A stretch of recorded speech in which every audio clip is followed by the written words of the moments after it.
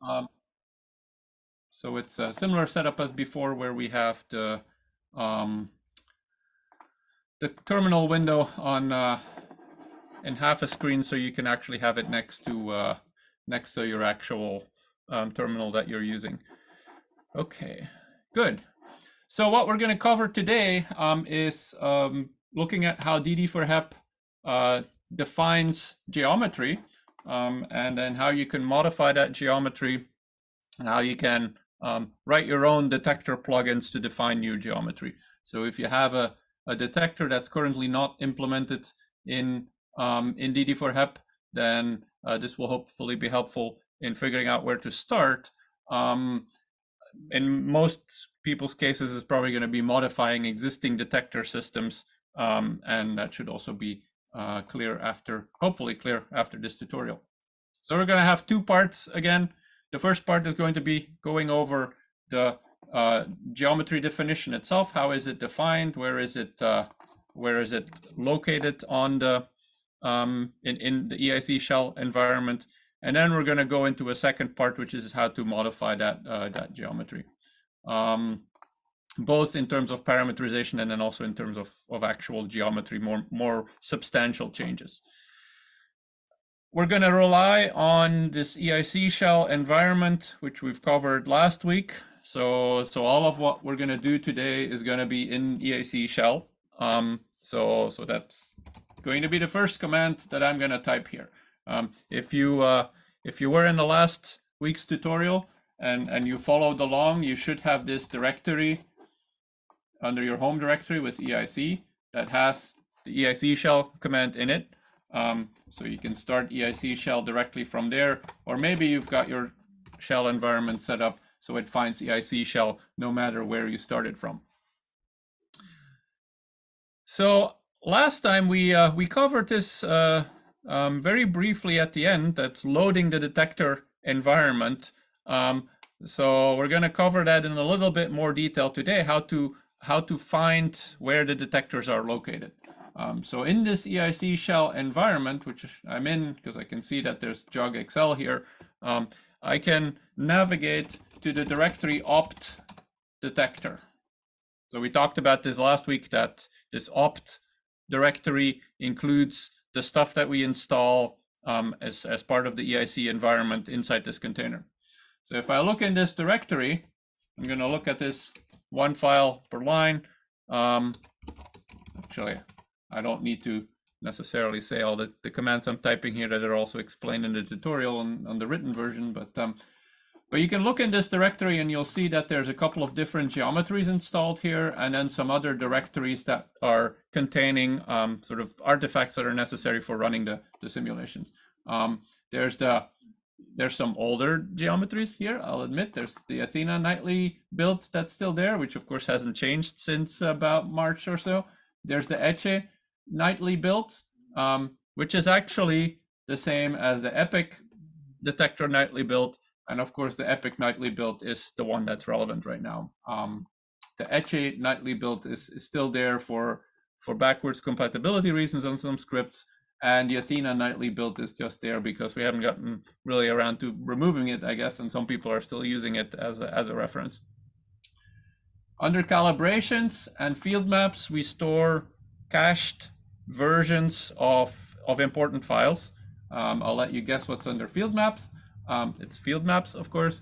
Um, and under calibrations, that's where we store, um, uh, for example, the, um, the necessary parameters to do um, calorimetry reconstruction, the, the sampling fractions as determined for a particular geometry and so on. You'll also see there's one script here, the setup.sh script, um, which will load um, a, a, particular geometry. So we're going to go and take a look in this uh, Epic nightly directory. Um, let's take a look in, um, in this directory. So we've got another setup script. That's the one that's actually going to load this particular geometry. And then there's stuff under lib and share.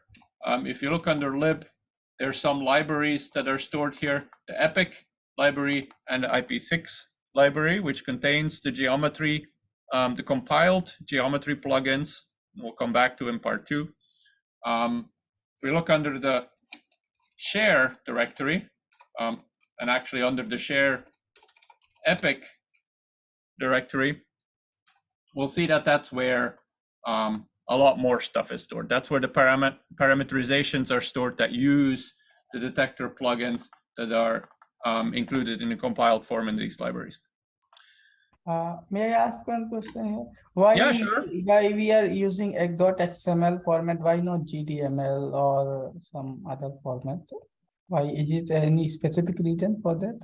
Yes, so so we're using this XML format because in the the decision process that led up to uh, um, to the single software stack, we decided to use the um, the the DD4HEP um, description of geometry, and um, and that uses this XML format.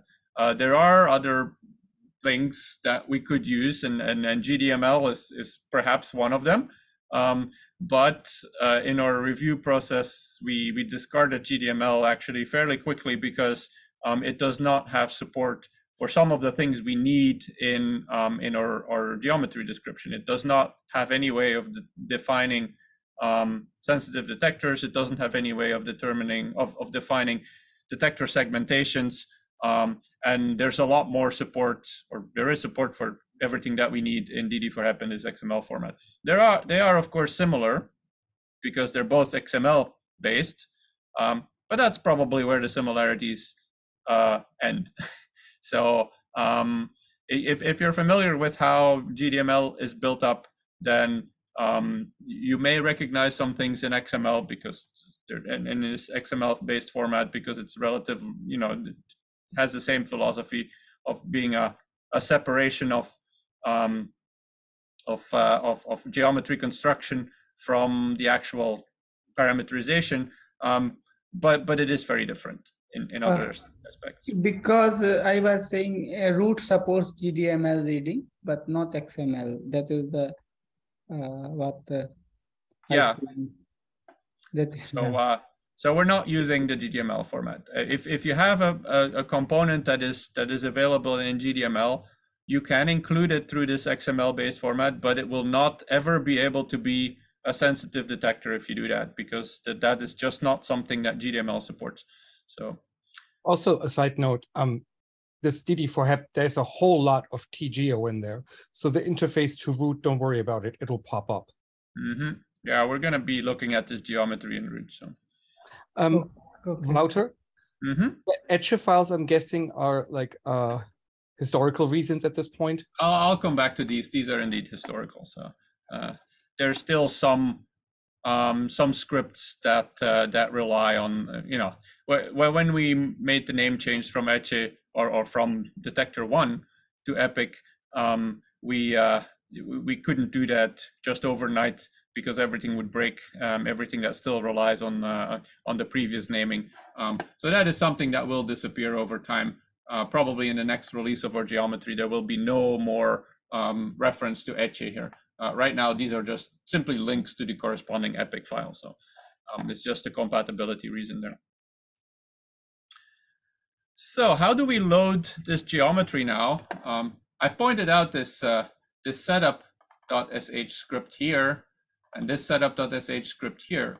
Um, so that is going to be how we load the particular geometry in that directory tree um, into the environment. Um, so for example, I can source these setup scripts and I can source it by, by full path name, detector, um, epic, nightly, setup.sh. So that will load explicitly the nightly build of the epic geometry into the environment. Um, and as we did last time, you see that this changes the um, the prefix and the prompt here to indicate that we are we have loaded the nightly build.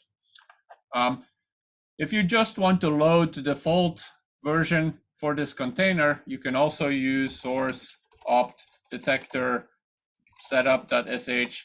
Um, and of course, the, the default is the epic nightly uh, geometry build. So, uh, so that's a, a shortcut. Um, if you want to be explicit, uh, you'll want to specify the detector name here um, specifically.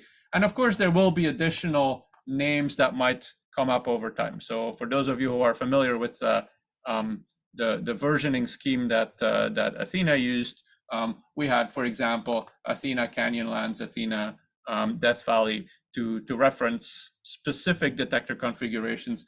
I imagine that we will have things like um, Epic uh, October 2022 to uniquely define what um, uh, what geometry was used in the October 2022 campaign, for example.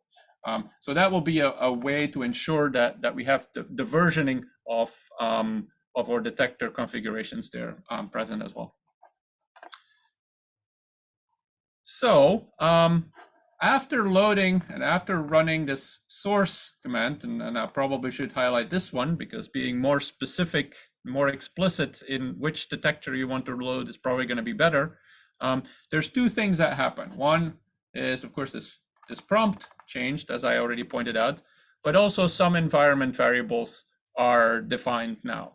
Um, and those are crucial environment variables to load the geometry um, for, for multiple reasons. It, it makes sure that we can find the correct libraries um, because there may be other um, libip6.so files on the file system and we want to make sure we find the right one. Um, it ensures that we find the right XML files that correspond to that detector. So um, I will point out a number of these environment variables, um, and I'll use echo to, um, to print them to the screen. So one of them is going to be just detector. Um, this will contain the, the name of the detector that we're looking at. If we were looking at uh, Nightly uh, in the days when it was still just ECCE and it wasn't a link to the Epic um, repository, this would, would be called ECCE or it would be called Athena. So it's the name essentially of the GitHub repository where the geometry is stored. We have version, which is the name of the branch um, on that GitHub repository that we're on. Um, so in um, on, we talked a little bit about continuous integration jobs that are run when we um, uh, when you submit a pull request. In that case, this detector underscore version variable will contain the name of the branch that you're using because you're not on the main Epic geometry, but you're on, for example, um, MPGD modifications, uh, some branch name. Uh, so that allows us to make sure that you have access to which geometry this is inside um, the container. Um, and there's some other environment variables. We can look at different configurations within the same um, geometry, so within the same detector. Um, as, as we know, in the case of uh, the EPIC detector, we are thinking about different configurations um, of the, the barrel ecal, so it could be SciGlass or imaging. Um, we're looking at MRICH versus PFRICH. So these are different configurations of the same epic geometry within the same development branch.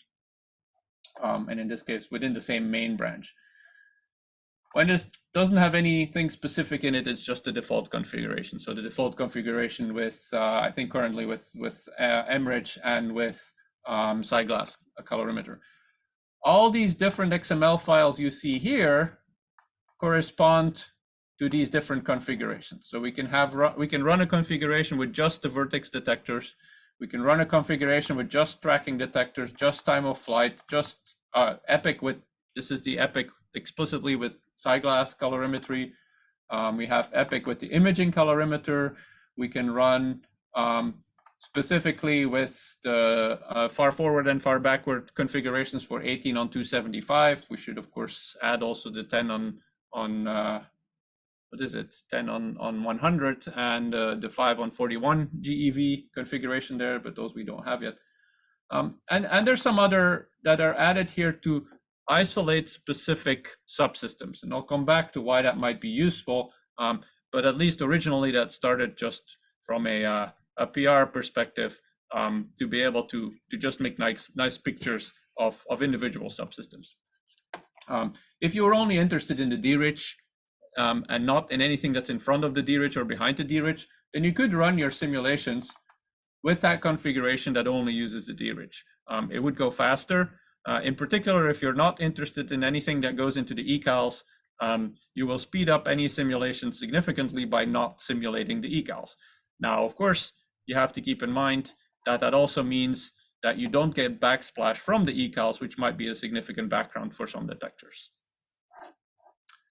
Back to these environment variables, there's one last environment variable, and that's um, detector path, which will point just to the directory where all of those XML files are located.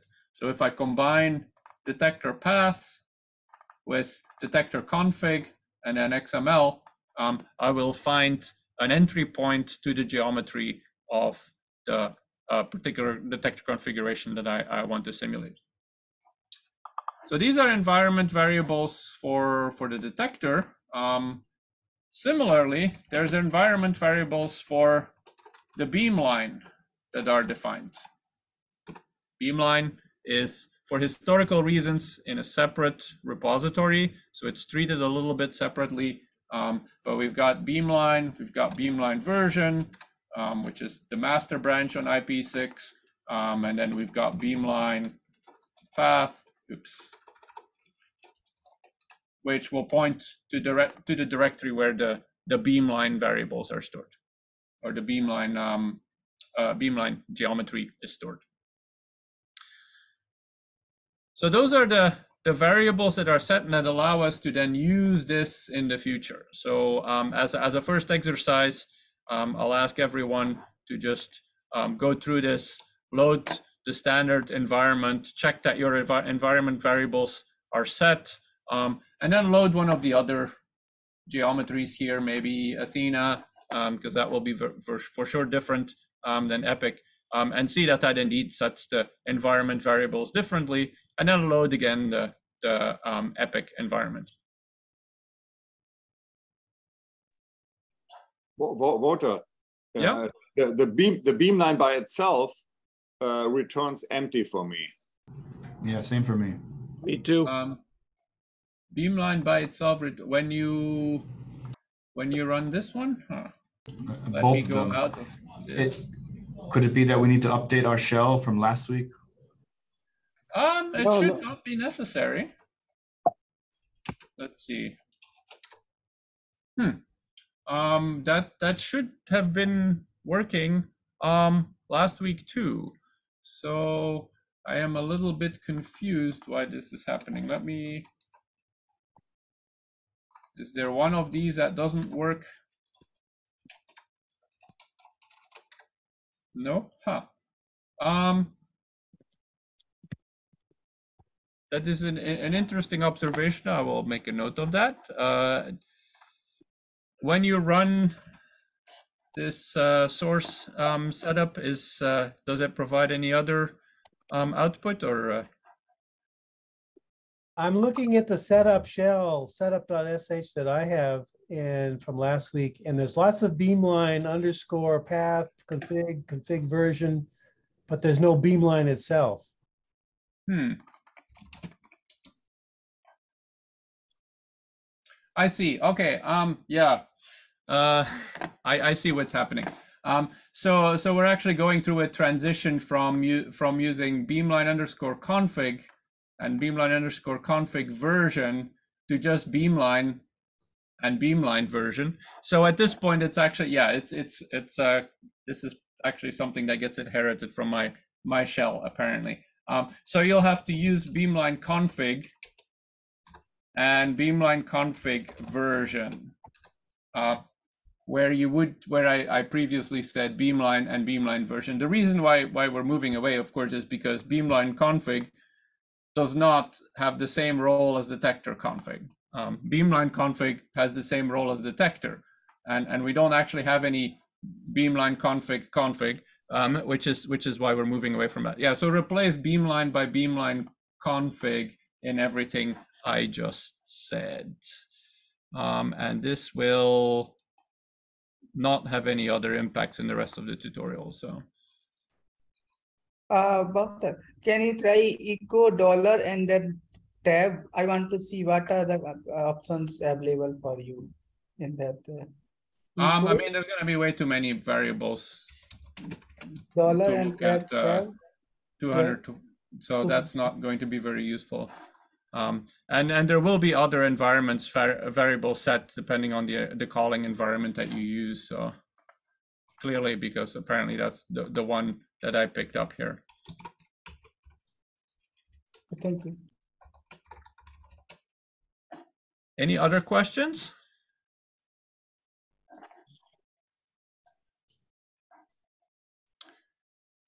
Okay, so um, so let's take a look at what's stored in this uh, detector path um, directory, and and I'm going to use these environment variables here, even though of course I could easily type the path as well, or you can navigate to that path.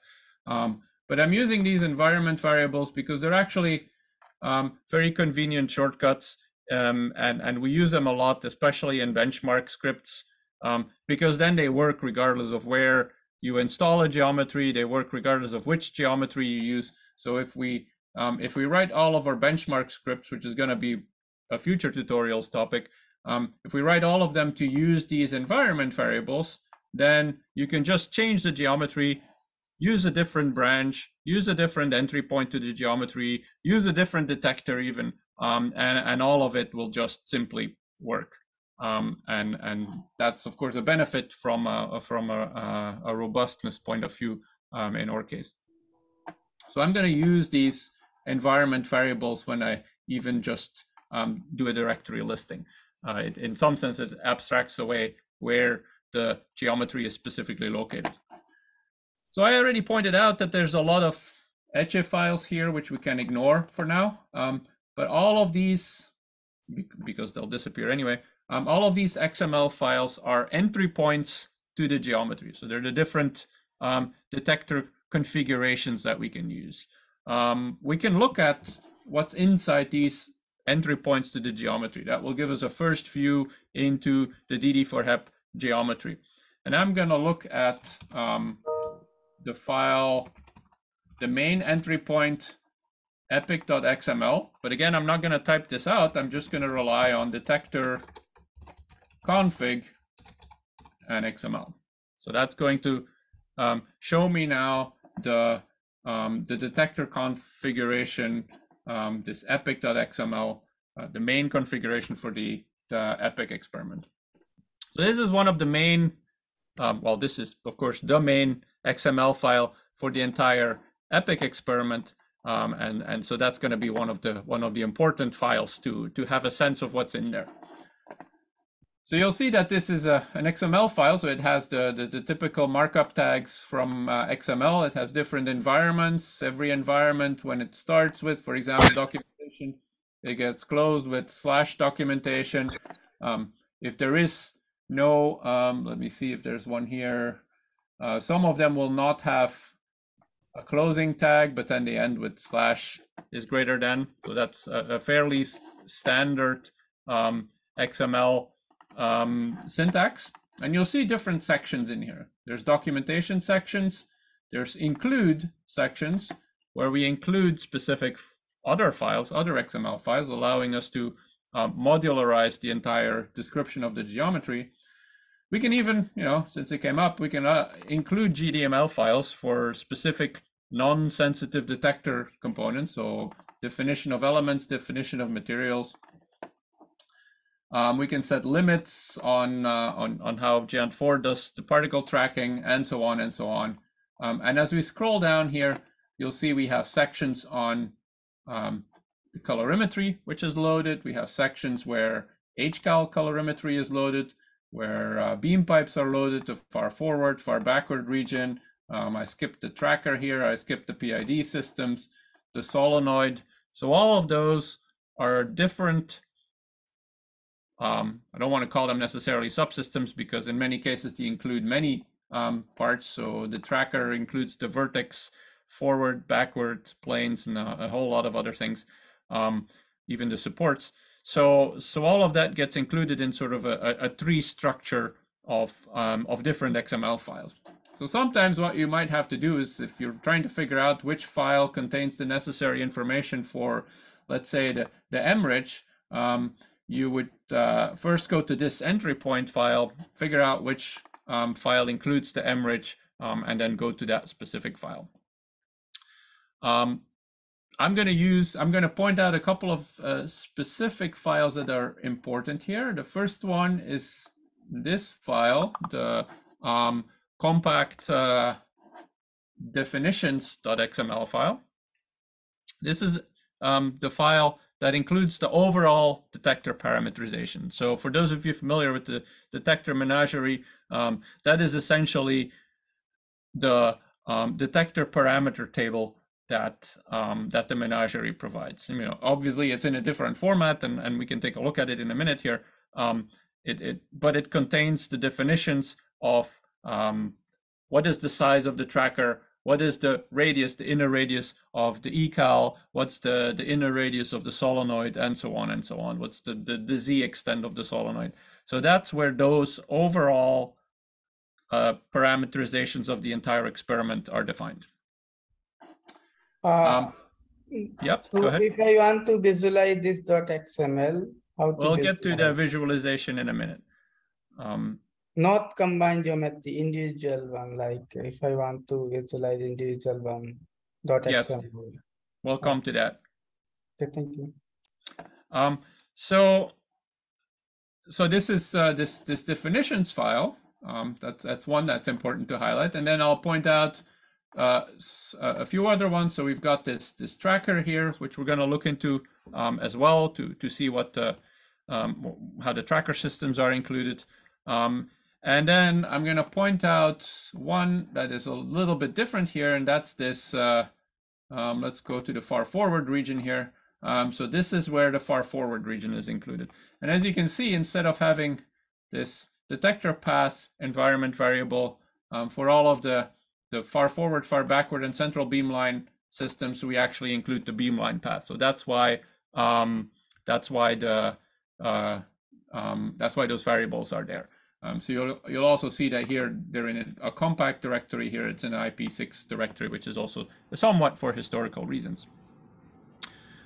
Um, if you're interested in the far forward and the far backward regions or in the central beam pipe, then um, then those are going to be the the um, those beamline paths are going to have to be set to uh, uh, to to the to the correct variables uh, to the correct paths um, for any work that you're doing. So let's look at this. Uh, Excuse me. yep, go ahead. Can I please uh, see the code that you just wrote for this uh, particular thing? Which code? N- Yeah, the code that generated that generated this all. So I didn't. I'm just looking at the at this XML file with less with the command less. Ah, okay. Yeah, I mean, I didn't include the less, and that's it says permission denied. Okay. I'll Yeah. Sorry. I will make sure that these notes that I'm using here are also posted uh, probably by tonight. Um, so for anyone who wants to go over it, um, that will be uh, that will be available um, for reference. Thank you. Okay. Um, Can I ask a stupid see. question that was probably asked in the last tutorial? yeah. Is there uh, an, a way to connect via X? I would like to see this in a free floating Emacs. Um, you can you can of course open. Um, is there a way to connect with X? Uh, not. We don't install Emacs with um, X Ah. forwarding inside the container. We install Emacs, and of course we install VI2. Oops, this. Where did I go? Um, find my terminal again. Um, so we install Emacs, um, but I don't think X Emacs is installed. No. Um, or is it a capital X? I forget. No. Um, you can, um, in many cases, edit files locally, um, but the, the files that are are, are deep inside and, and, and installed in um, the container, those are, are more difficult to access from outside the container. Um, so, so in that case, you won't be able to open those with an external X Emacs that is running outside the container. Um, we will come back to this though when we run um, this this uh, when we look at uh, the the geometry that's been um, that's been installed in a local uh, Git clone of the repository. So Okay, sorry, thank you. okay, um, I'm gonna take a second here and shut up my uh, um, my Slack notifications, which are bothering me. I don't know if they bother you or if you can even hear them, but they're um, making noises. Okay. So let me reopen that file here um, just to point out that we're going to look at this uh, definitions.xml file, um, which again includes the overall parameterization of the experiment. So I'm going to open that file. I can just copy and paste what's in that include line. Um, so you'll see things like, um, well, standard constants like pi, mil, and inch, so we can use them um, in definitions of detectors. Um, but you'll also see the different parameters that are defined here, constants that are defined. Um, there's a variety of reasons why we define um, certain constants, but in particular, it's going to be interesting to scroll down a little bit further here and, and um, until we get to the point where we're defining, for example, the length of the solenoid, the R min of the solenoid, um, the offset of the solenoid, um, you know, different options for solenoids, which we're not considering anymore in here. Um, and then things like R min of the vertex tracker, um, R max, all of these are to some extent determined by each other. For example, if we say that uh, um, the R min of the solenoid has a certain value, and we say that the, um, the calorimeter has a certain thickness, that implicitly de defines what the R min is of the um, calorimeter. And so that's one of the, the ways in which this, this parameterization in this definitions file is a way um, to, uh, to, to provide some overall consistency to the entire experiment, um, to the description of the geometry. Okay. Um, so that's this definitions file. Um, if there is anything that is essentially at the level of detector parameter tables, it should go in here.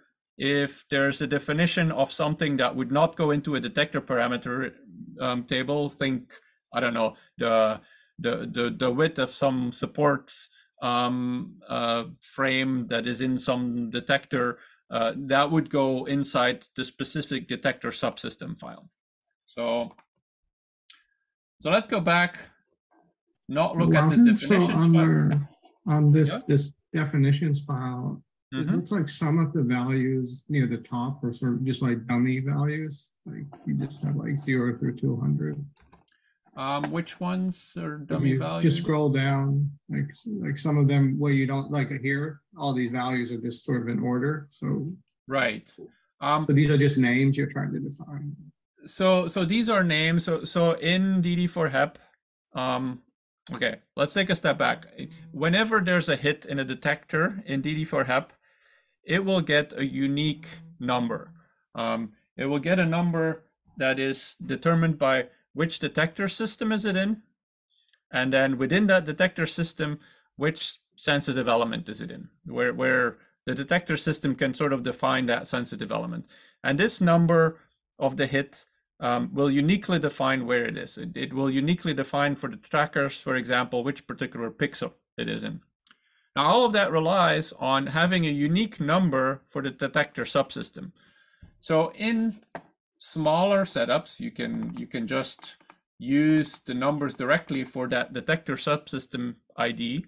Um, but because it is so absolutely important that we don't have any overlap between the, the detector subsystem IDs, um, we define them ahead of time here um, to make sure that whenever a detector subsystem ID is used, no one uses something that overlaps with something that's already defined. So, um, so this is one of the areas that's important to keep um, to keep clear of overlaps um, in in the numbering scheme because if two um, ID numbers overlap, then uh, it, it would uh, not allow us to uniquely identify from where from which detector a particular hit came.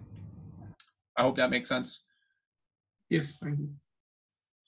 Um, so yeah, this this does take up a lot of space in the file up front here. Um, and, and so we got to kind of scroll past this. There's for each of the detectors, there's a unique ID is essentially the, the, um, the reason for those listings. Uh, so it's a, it is a full simulation. The trial Fun4All is a fast simulation. So we have every de- detailed information in DD4HEP for each detector. Yeah, all of the definitions, uh, all of the information is of the geometry is defined within this um, this DD for HEP description. There's no there's no need to use fun for all. Okay, so let's look again at this uh, this overall um, entry level file. Um, I was gonna, so we looked at this definitions file, which contains the overall parameterization. Um, now we're gonna look at the, the tracker file. Um, so I'm gonna open this tracker file, tracker.xml. Um, and if you look in this tracker.xml, here you see um, how these quantities, um, let's see. Yes. Um, here you see how some of these um, quantities are defined. So, uh, so we define things that are internal to the tracker, um, such as you know specific angles that are relevant, um, the length, the R min, R max of certain uh, vertex detectors. Um, we define all these quantities, but you also see that we actually use some of the parameters that are defined externally. Um, so in this definitions file, there's a, a, a variable beam pipe R max that is defined. Um, that diameter of the beam pipe drives the minimum radius of one of the end cap trackers. Um, so rather than putting a hard-coded number for this R min in here, what we're doing is we're we're having that quantity depend on the beam pipe R max. It's not that we, in this particular case, think that the beam pipe radius is going to change necessarily. Um, but for some of the other um, dependencies, there is certainly still an expectation that, for example, support cylinders um, might change or that uh, there might be some some shifts in, uh, in, in certain subsystems. So for anything, for any variables that are sort of in, in that um, range where they, they might be affected by external um, subsystems, it makes sense to have this parameterization depend on quantities that are centrally defined. And that's that's what we're doing in this, this parameterization system here. Um, if I scroll down a little bit further, um, actually, let me go out of this file and let me open the file tracker. Let's see, uh, vertex barrel um, which is ultimately um, uh, included to describe the, the vertex um, the vertex barrel detector. Um, so here you'll see the same thing where um, the the vertex barrel length is is used, which is externally defined, is used to set the length of one individual module of a vertex barrel. Um, but then things like the, the silicon vertex sensor thickness, those are set explicitly within this um, within this XML file because that's not something that anyone else outside of this um, vertex barrel class or vertex barrel description needs to needs to know or needs to use in a um, in a way that uh, that they would depend on. So all of what you're seeing now is is uh, parameterization, and, and I've, I've I've covered these these constants and paid a lot of attention to it, maybe too much. Um, the other part that's important is the detector definitions. So in this vertex barrel file, um, you'll see a section that defines detectors. And here is, for example, a place where we define one of the detectors. Um, we pass it this ID, which is what uh, what Barak was was asking about. So that's um, to make sure that there's, you know, so we don't have to keep track of, of those numbers in all of different files, but they're all combined in the definitions file. Um, we give this detector a name. We give this detector a type, which is what we'll come back to. That's the um, underlying geometry plugin that will describe this detector based on the different parameters that we're passing to it here. Um, we give this detector a dimension, our min, our max, and a length, um, and then we can place modules inside this detector. Um, in this case, we place you know, different different modules. We place three types of different modules, um, and then we layer these modules. And I don't necessarily know how this is set up, but that's to some extent what is um, required to build up this vertex barrel detector. Can I ask uh, using the detector plugin that we uh, that we use? Yep, Kolja. Um, did you handwrite all of this, or is there some kind of IDE that allows you some boilerplate generation? Um, this is this is mostly handwritten. This is not um, this is not generated by uh, by some other IDE. Um, the, the the best way the way in which a lot of it is is is uh, is automatically generated is is copy paste um, to some extent. So um, you know these these files, of course, they don't start off being 150 lines long. They they start off being um, uh, maybe three variable, uh, three constants or parameters that are defined, and then one section where we give it a detector, and maybe there's one module. Um, so so they do grow organically as more um, detail is added. Uh, so it is not written by some software like CAD or CATIA that designs the geometry. No, it's not. So, Oh, okay. Thank you. yeah, so this is one of the um, so so what it allows us to do. it- So there there's different ways in which you can define geometry, and and this is one of the the questions that sometimes comes up when we're talking about why can't we just export CAD? Um, so exporting um, CAD would result in having in this file, and for example, if you export some um, Ge- Geant4 geometry to GDML, you would end up with a file that had has every um, piece of geometry, every geometric primitive, uh, every cube, every every bar, every prism um, as a separate volume in that file. Um, that makes it very difficult to treat it in, in a way that um, that maintains this this sort of logical approach of um, a detector which has a certain set of parameters that are relevant for that particular detector.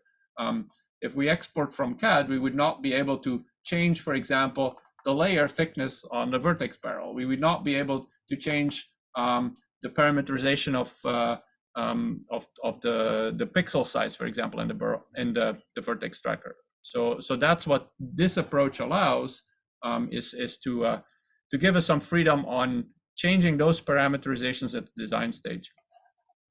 So I have a question uh, Mhm. about this structure. So if we're talking, so looking at a, a barrel vertex layer, um, that is made up of, of uh, ITS three elements, of which there, each one has a certain size with a certain number of channels. Right. And then there's a support structure and, you know, cooling, whatever, whatever, whatever. So is Mhm. that gonna be added to the thing that is a vertex layer? Or is that gonna be more detail in this file as you add more? As, as your description of what is a vertex tracker stave becomes more sophisticated, uh, does it, do you add extra layers of files deeper down in the definition? Or is it, or is it right here that you're gonna start adding more and more subcomponents? So in this particular case, as the description of the vertex ba- barrel detector becomes more detailed, the it, it would make sense to add this level of detail into this file, but in particular, adding it into the underlying geometry plugin that we'll look at um, in the second part of the of, of the tutorial today. Um, so it's a combination of both adding support here and then adding support into um, in, into the underlying C++ code. There's other cases, of course, um, and and I think um, I don't know if Ryan is here. Um, no, I don't don't see him. But Ryan Milton, for example, is working now on the on the ecal and and hcal inserts. Um, so so that's one of the cases where instead of putting that within the ecal and hcal, um, the forward ecal and hcal detectors, um, as additional detail, where it made more sense to treat this as a separate file um, and then include that insert separately um, with its own its own set of parameters and its own set of um, you know its own detector definition, its own module definition, and so on. So it depends a little bit on the on the particular case that we're looking at. I mean, I know Jim Fast was even during the proposal phase was looking for the three detectors at how, given some assumption of what the die was for the fabrication of the chips, how you would lay them out. hmm Um, and that influenced the, the radial placement of the layers because you, you wanted to make it fit in an even number or, you know, an integer number of, uh, of things, but that's not in this level at the moment, but you're saying it would be added. probably. Um, I mean, we do add here the number of uh, of, of of layers or the number of uh, of sensors, right? So But I, I- I don't see a definition of what a individual sensor is that rolls off the factory and it arrives in the mail. Uh, so that each of those modules, um, so so for example, here there's a thickness of uh, of a sensor. I mean, if if we wanted to, um, yeah, if you wanted to to really talk about you know um, dead space between different sensors, um, then that would be a level of detail that that could be added here, for example, by saying you know inter-sensor spacing or something, um, and and introducing that. Um, if that's, for example, the level of detail that that would be uh, would be something to add. okay, Uh, may I have one very technical questions, like, because I am following the tracking meeting always, but uh, I don't know when it designed the geometry in the epic, for the epic in DD for Apple. We never discussed about this, uh, what are the steps, dimension, what are the material. Basically, who's developing this? I don't know. The, I want to know about it. So this is a develop the development of, of these files um, is to some extent a, a collaboration between the detector working groups and the software working group. So so we can help detector working groups in, in setting up the structure here and, and thinking about what might be a good way of structuring it.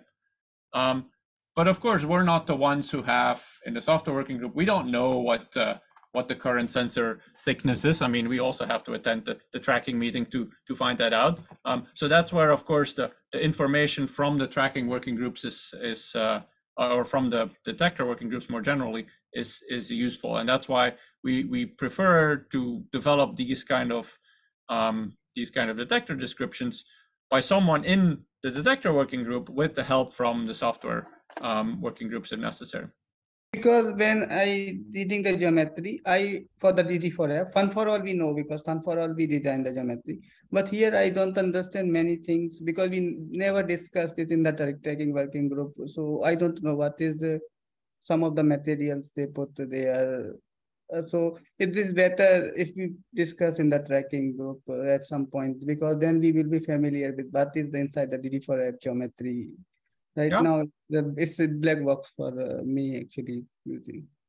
Yeah, May- I may mean I that's why make a we have these tutorials. Maybe Ray has a comment. Yeah. Yeah, yeah. So, so Shyam, the the the the the people putting this in DD for HEP are also in the in the going to the tracking working groups. For example, Shujie Li, um, and I, and the point is that the information that will go and that is being currently put in DD for HEP will be um, the same representation of the detector that we have put in, in Fun for All, the same the same geometry that Ernst um, has done in fast simulations there might be some some um, small change here and there, but overall, effectively speaking, the, the the geometry will be identical to the one that we have been- discussing in the tracking meeting.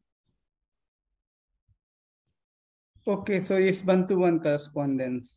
Uh, Yeah, yeah, and and we have coordinated, and Shujie has been working on this and going to the tracking meetings, and also we've been having private meeting uh, meetings aligning one to one the numbers in Fun for All, Fast Simulations, and DD for HEP. Ah, okay, okay, okay. Thank you. Uh, thank you very much for clarifying. Okay. Um, any other questions?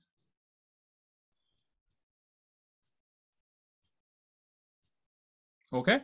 Um, so then let's uh, let's move on and um, let's do a little, you know, another a little exercise because you know not everyone is probably as interested in the vertex barrel tracker. Um, so I would like you to identify. Um, let me just copy and paste this here.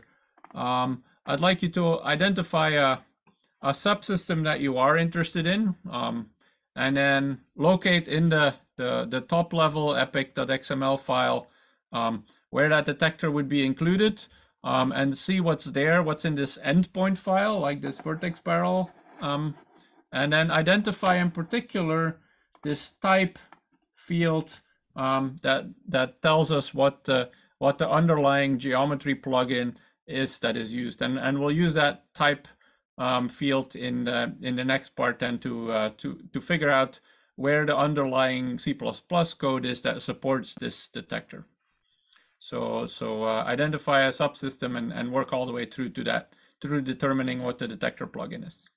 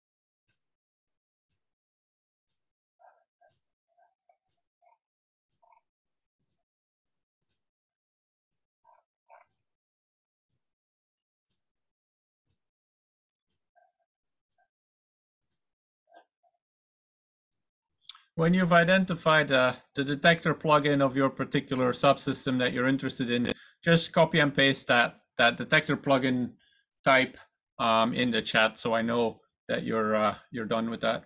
Is this going to be in the compact area or, or the? Uh, that would be in the compact area. Yes, likely. I mean, unless you're in the far forward, far backward region, then it, it might be in the IP6 um, Okay. region.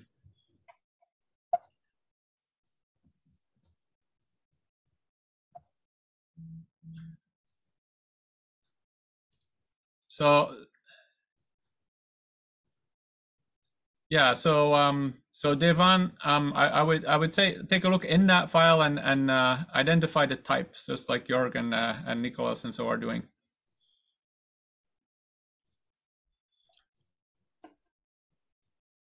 And I'll come back to the question about um, commenting out subsystems to isolate another subsystem. So.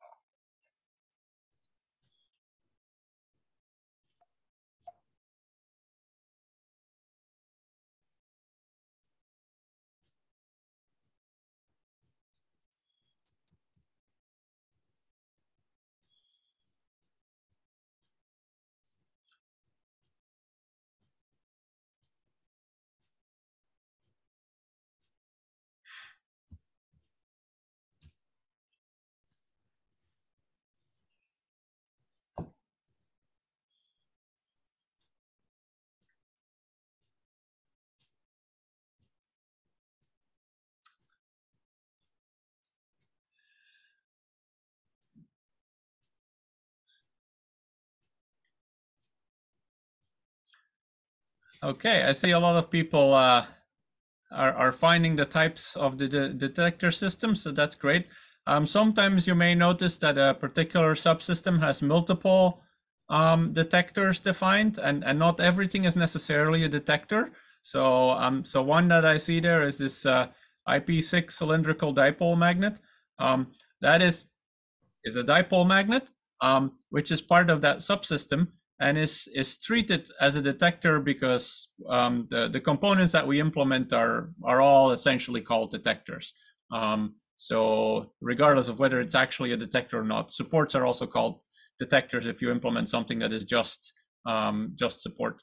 So um, so that IP6 cylindrical dipole magnet, there will be underneath there uh, or further down in the file, there will be other detectors that um, that might have a different uh, terminology or or that um, might not be cylindrical dipole magnet.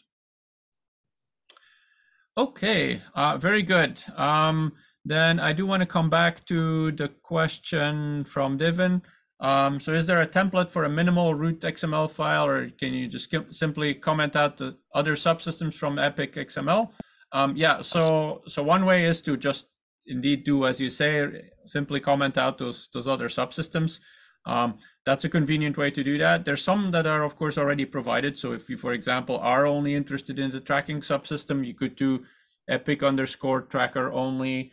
Um, if you're only interested in the ecal, you can just do, um, I think it's epic underscore calorimeters, um, although I think you get the hcal too then. Um, so there's there's those options. If if that still doesn't, um, if you still want to narrow it down further, you can just comment out or remove lines from epic.xml. The thing you're going to be encountering though is that these files are read only in the container. So you're not going to be able to do that um, unless you take a copy of the file in a directory where you can write. Um, so typically a home directory um, or, or this EIC directory, which we've already looked at. Um, we're actually going to do something that is similar to that um, because when we want to view the, the geometry, we're also going to need to create a file that um, that we have access to um, in, in, a, in a directory um, that is not inside the container. Um, so what we're going to do is we're going to visualize now the, the geometry. So uh, looking at, uh, the, at the geometry, essentially exporting it to a, a root TGeo format and then opening it up in a, a root viewer. We're going to use for that um, a little utility called DD Web Display, um, which exports. It also does web display um, as, as, as it sounds. So it also can open an HTTP server, but that doesn't typically work very well when you're inside this container um, and is, is not the modality we're going to use it here. Now, because we're using an export functionality, we're going to want to make sure we're in this directory um, EIC in the home directory um, where we can write um, the output from the export command. So I'm going to use dd web display. And if I just do dd web display help, um, it will tell me how I can run this. I'm going to use this export um, command. So I'm going to do dd web display export, and then I'll specify the input, you know, file is input XML file. So I'm going to specify the input XML file. And as I've already done, I'm going to use the environment variables, detector path, and then detector config.xml to specify the, the entry point to the detector configuration. So what will happen when I when I run this um, is you'll you'll see it do a couple of different things, um, and I'll let it finish here first. It just takes um, takes only a few seconds uh, in the best of cases. So what it does is it it loads DD4HEP. Um, as you can see with this reference here, um, it, it, prints one warning, which we can actually ignore um, for now. you can see it downloads something. I'll come back to that because someone will probably have um, difficulties downloading because they might be on a node that doesn't allow um, downloading from the internet.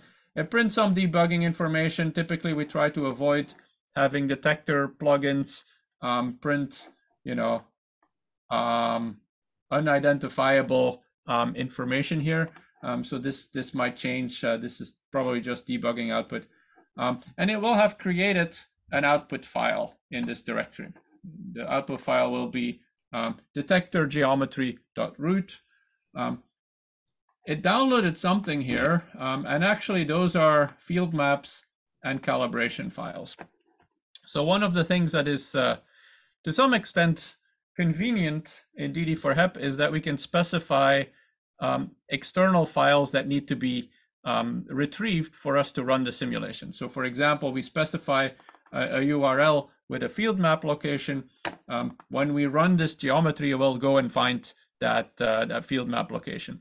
Um, if it's already there, it will not download it. So if, if someone is, uh, is on a system where, where this is causing difficulties, where you can't download it, um, this field map is actually stored inside the container. So technically there's not really a reason to download it, um, but we're still, you know, working out the kinks on making sure that it doesn't, um, doesn't download every time. Um, you'll notice that inside this calibrations directory that it um, that it uh, also created, it has stored links to, for example, the ACTS materials map, um, which it didn't download because that is, is one of the areas where we do use the cached version that's inside the container. Now, what we're going to be interested in is, is, is this detector geometry um, file, which is uh, the file that we will um, uh, use, which is the TGeo export of the geometry um, of the entire EPIC experiment in this case. So I'm going to um, stop sharing here and open a web browser um, to, uh, to show where I can load this file. Um, where is my web browser? There we have one. Um, and I'm going to uh, mhm, share that screen now. This one. And I'm going to go to um, the the geometry viewer that we have on the Argonne National Lab site. Um, this is really just any JS root um, enabled website. Uh, this is one that, that is convenient because we can use it with files that are coming off of the, the detector benchmarks. Um, so it's a URL that you might already have seen before. Um, Can you put it and- in the chat or vastly? Right. Oh, thank you. Thank you? Nicholas. Um, yeah, I should have done that right away. So I'm going to go to that link and there's nothing here. It's just the JS root interface. Um, but I can click on the triple dots here to select a local file. And you probably don't see the pop-up of my file selection window. Um, but I will select, I will navigate to the directory where that detector geometry.root file was um, was saved by the export, um, and I will open um, that file. And so you see here now, detector geometry.root is, is loaded in my browser. You can also um, use other visualization tools, um, but again, I'm using the web interface here because presumably everyone has access to a web interface um, and can uh, can export this this file in a way that then can be loaded um, in the in the web interface. Um, if you start root, you can also visualize this geometry. You can use T um, Tev in um, in in root. Um, there's some parts that make this a little bit more difficult to to do the 3D visualization inside the container. Um, so this is one of the one of the things you probably want to do outside of the container. So now that I've loaded this file, you'll see that default is is one of the entry points in this uh, in this root file, um, and I can click on that, and uh, I can also right click on it, choose draw, um, and I'm just going to pick this first default draw um, option here to uh, to draw the entire geometry that I've just exported. Um, this will take a little bit because the um, the geometry has has many you know components, so it, it will take a while to actually draw it. Come on. there we go.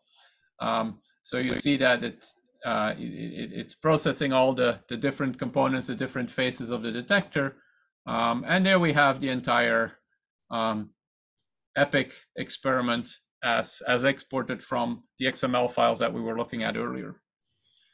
Um, so you see, of course, mainly the HCALs on the outside.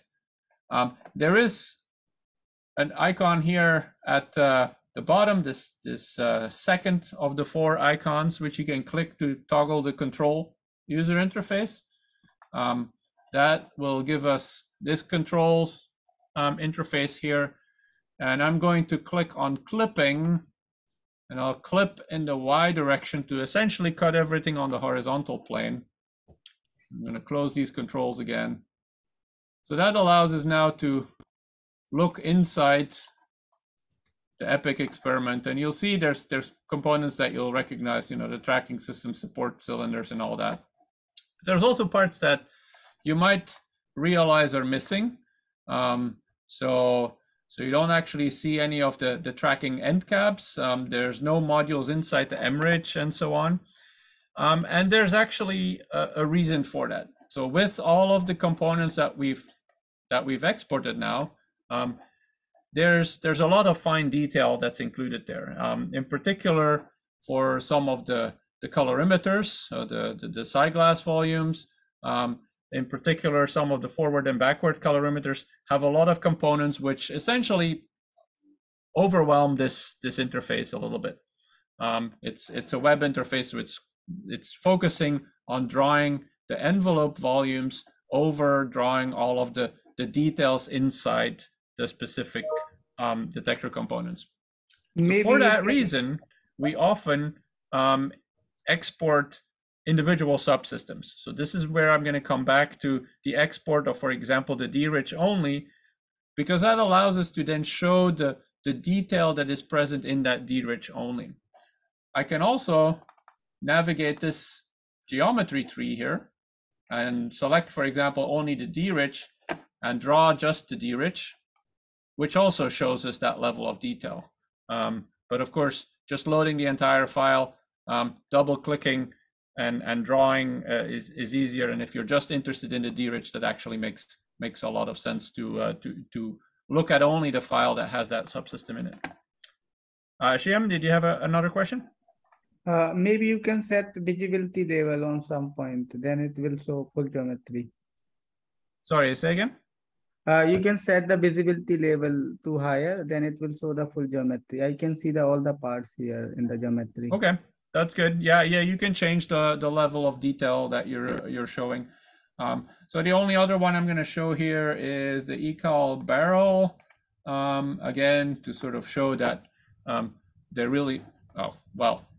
Um, in this case, this is the the envelope volume of the um, the ecal barrel, which we can show um, make that invisible and draw its daughter volumes um, to actually see the different components of the of the ecal barrel.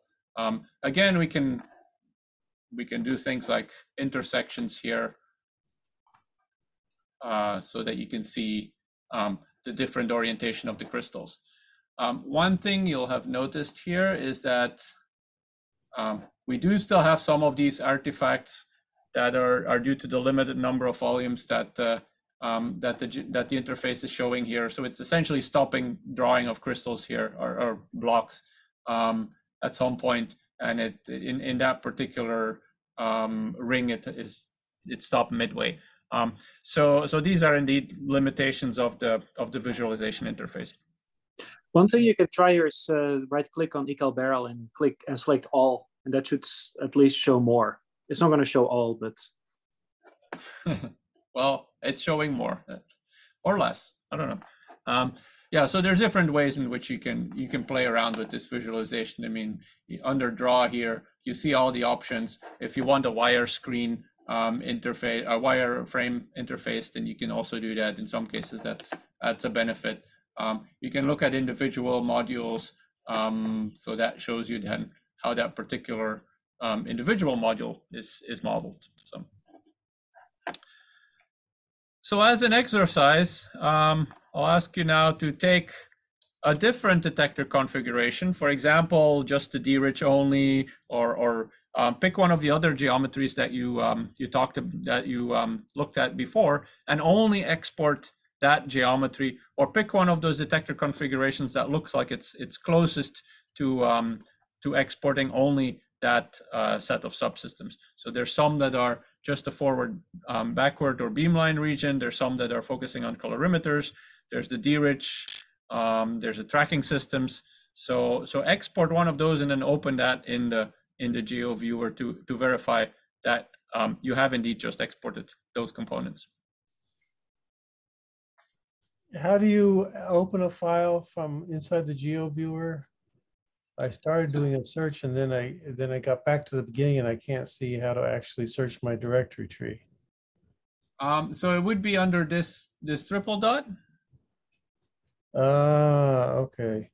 It is possible. I think I don't know if this is still a, an, an issue, um, but uh, sometimes if you reload the same file um, with the same file name, even though it has different content, the interface doesn't realize that it's actually a different file. Um, so you may have to just refresh the entire page so it forgets about that file um, and then reload that same um, detector geometry.root file. Now, then the files that we just have been working with, they're in uh, user local or are they in the directory where I was actually working? So the XML files are all under this opt opt um, Okay. yeah. directory. Yeah, opt detectors. Um, when you wrote the exported root file, that would have been in, in the home directory or in home EIC. Um, if you followed the directories that I that I've been using.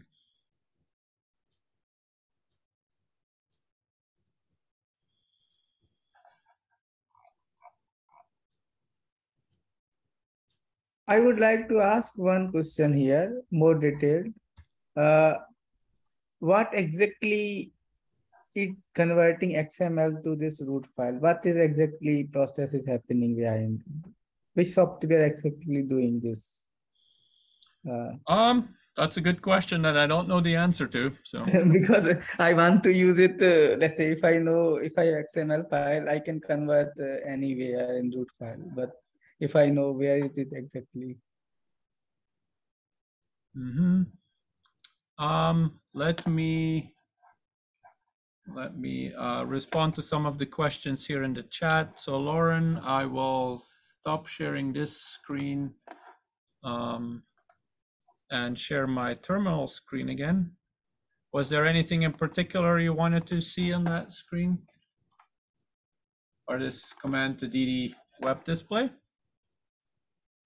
Um, and then Jörg, Ah, um, so so Jörg is uh, is is running into um, an issue that is that is relatively common. So we cannot export individual detector components in that compact directory because they rely on um, the parameterization that is that is essentially at a parallel level to them.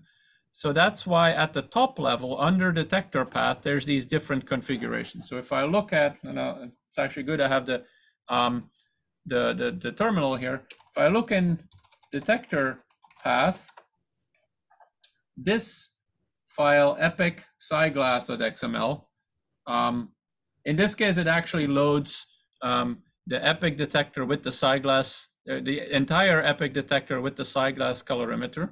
Um, if I look at, for example, epic calorimeters, it would just load the calorimeters, um, but it loads first the parameterization and then the colorimeters. Um, if you were to load directly um, this compact ecal SciGlass or whatever it's called, ecal barrel SciGlass, um, what you would encounter is indeed that um, uh, it, it, cannot find, for example, the material definitions. It cannot find the overall size of the SciGlass system, which is included in that definitions file, which gets loaded by the top level um, system. So I, does that make sense, Jörg? Yeah, so I, I, I followed you. I, it seems to be working now. Yeah, thanks. Mm-hmm. So we can only do the DD web display on these ones that you're showing here, these XMLs. Right, they can only be done on the top level files, yes. Okay. Um, it's easy to ensure that there's more of these. If, if for example, you wanted to have a, a SciGlass only um, detector or, or a SciGlass only entry point, um, it, it's relatively easy to just add that. We have a, a little bit of a of, of a system for that that is using templates to ensure that um, these are all consistent with each other, but we can add files to that. And I think I think Chris Dilks has most recently added one of those to it. I forget, maybe someone else did as well. Um, but that is certainly something we can do easily.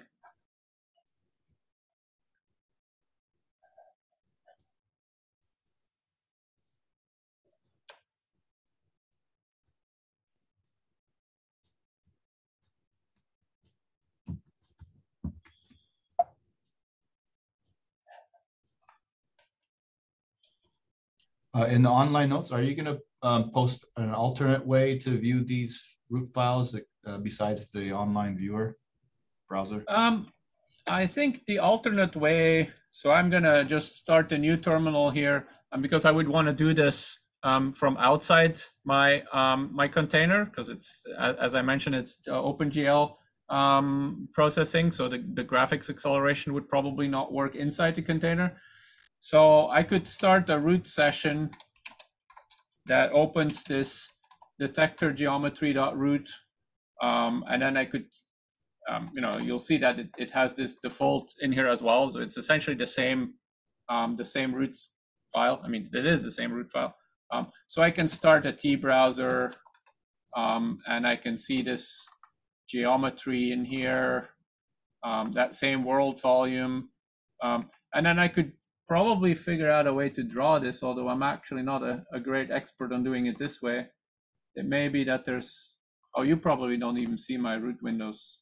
So you can go to the volume and then you can click on the draw, right click, and then you can show the OpenGL, OGL. Then it will draw. Yeah, so that's, uh, Or I you can go to terminal, just click on the terminal, uh, just click on the terminal and you can read. Uh, I can probably do something like G- the no, no, you can uh, gGeoManager, GGO manager, GG, small g, no, oh, no, no. gGeoManager and get top volume and draw OGL. Okay. Um, yeah, Get so so there there's other ways to do it. Maybe if you can po- post it in the, in the chat what command to use, um, Shyam. Yes, I am writing, yes. G- So my file, the original geometry file is in something opt detector. But I don't, that directory doesn't exist outside the uh, That doesn't exist outside the container. That's right. So that's why when we do um, a uh, when we um, export to, to to this root file, we have to do that in a in a directory where we can, first of all, where we can write, but also where we can then um, access it from outside the container. That's why we have to export the XML files from that are currently only you know pre-installed inside the container, but which are read-only and not accessible outside the container.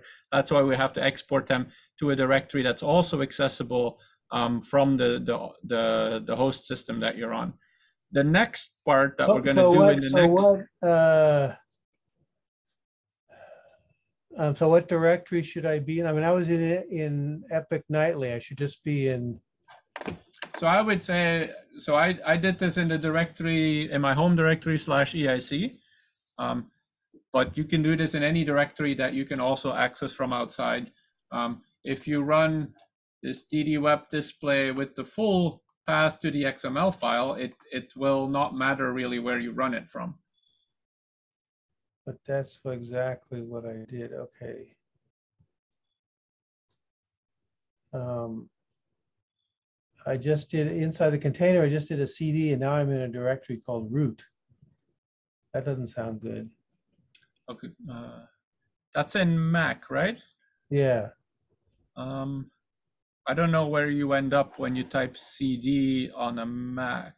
Yeah, it seems to be that if you are using the Docker container, at least that's the case for me because I had some trouble with Singularity, that you are automatically the virtual root user. As such, when you type CD, you end up in the root, like the root user's home directory, which is slash root. Oh, do you then have to navigate um, to to slash users or something on a Mac? Yes, what you, yeah, I don't know how, it- I don't know how the file structure looks like on a Mac, but on my Linux system, well, in WSL, but whatever, uh, it, I can manually navigate to slash home and then my username, and then I end up there. That works. Mm-hmm. But I am automatically the root user for whatever reason. I'm not sure if this can be adjusted in the Docker container. I can look into it. Yeah, I don't know. I mean, Docker. That's one of the reasons why why Docker is typically not used in in the um, in, in on big um, acceler uh, um, on big um, computational clusters is because of those um, permissions that require that your your root. So um, that's So Docker on a Docker on a Mac does look like it's running as root, but it is actually running a user space. But it's correct that it, you know, you will be the root user. In principle, we could set this up differently. We just haven't done that. Mhm. Um, so Marshall, I see that you have uh, um, an, an, an error uh, related to, I just scrolled off my screen here now. Um, where is it there? Um, so Marshall, are you running this inside the container? Yes, I was. Okay, that's uh, that's strange that uh, it would not find the the libraries. Um, so can you post that in the Mattermost channel under the help desk? Then we can we can try to debug that. Maybe um, copy the command that you've used. So Yeah, I, I can do that.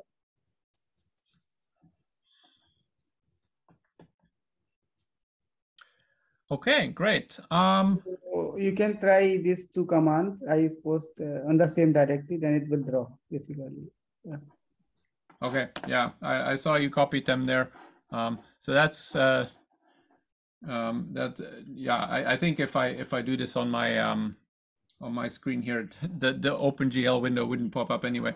But yeah, so if if the um, if the um, the GeoViewer web interface is is not something you can use or that's cumbersome because for example you're running this on a, on a BNL or on a JLab system um, then you can also use the um, the geo manager within root to visualize that with the commands that JM has has posted there. I'll add those um, to the instructions as well um, on the online tutorial so. Thank you for figuring that out. Okay so um as with the last tutorial last week, I'm going to propose we take a little bit of a, a break, five minute break or so, um, for everyone to kind of stretch their legs. Um, and then we'll pick up again with a local copy of the geometry where now we're going to look um, at, at an environment where we can actually modify those XML files because currently we're still looking at uh, read-only files. Um, and then we're going to look at the um, the underlying C++ code that actually allows us to parse those XML files. So that will be for, for after the break. And so in the second part, we're going to talk about how to take this geometry and, and really start modifying it now um, beyond, you know, looking at it and then uh, and, and visualizing it. And to do that, we're going to start from a, a new local copy of the, the Epic repository. So I'm going to check out my own version of this, uh, of the Epic repository. I'm going to compile it and install it um, in such a way that it looks similar to what's in this opt detector um, directory tree, but in a way that I can make changes um, and, and sort of do iterative development. So I'm going to go to that same directory. I've done everything in, not with caps lock on. Um, so in this EIC directory I was already in, um, I'm going to git clone the github.com um, EIC epic repository. Um, if you already have this checked out, that's of course fine as well. Um, and let's look into this epic directory that's been created with this, this code. And you'll see this actually looks fairly different from what's installed in the um, in this opt detectors location. So, so this is what is used as the source code in a sense for installing the geometry under opt detectors. I mean, other parts are of course very similar. Um, in this compact directory, you'll see all those same XML files that we saw earlier, uh, but all of those top level XML files are gone. And, and in the break, you know, we talked a little bit about how they're generated from this template based on certain configurations that are specified in this configurations directory. Um, and that will indeed happen when we do the installation of this, uh, this geometry.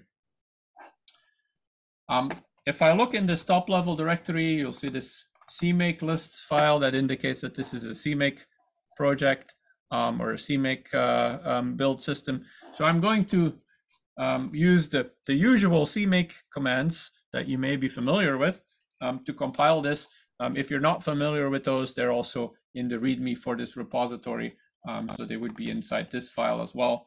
So I'm going to do CMake, create a build directory that's called build from the source directory. That's the current directory I'm in. That's where my CMake lists.txt is located. And I'm going to pass one defined parameter, CMake install prefix.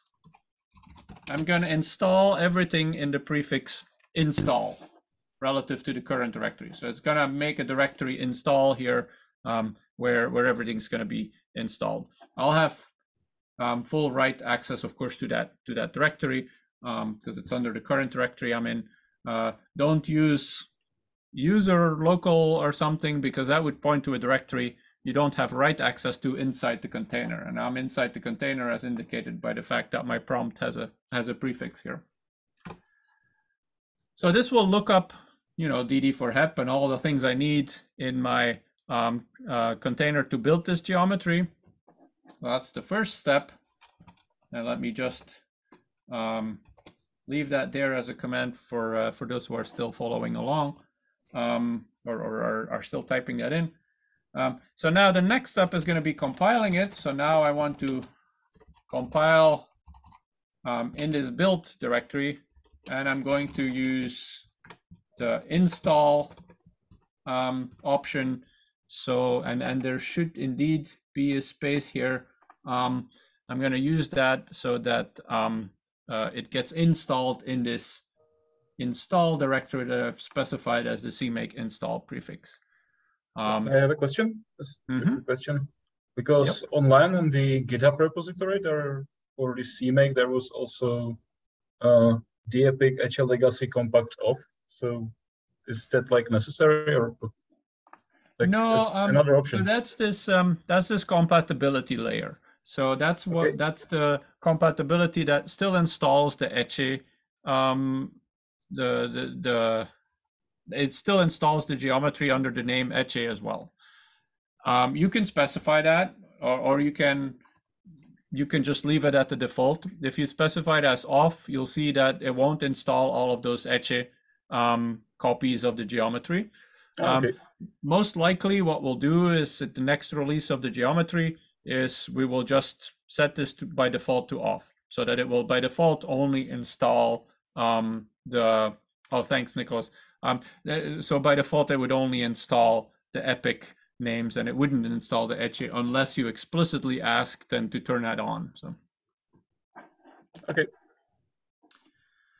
So I'm going to compile this this code, um, and what it's actually doing is it's going into this uh, this source directory and compiling the geometry plugins that we'll look into um, in a in a in a minute or two here. Um, so this is going to take a while. I'm going to speed this up a little bit by specifying that I want more jobs to run simultaneously um, so that we don't have to wait for this to scroll by indefinitely. Um, so this minus J, um, you specify the number that's essentially the number of cores that you have on your system. If you're on SDCC or on uh, um, or on a JLab system, feel free to put 48 there or something um, and everything will be done in no time.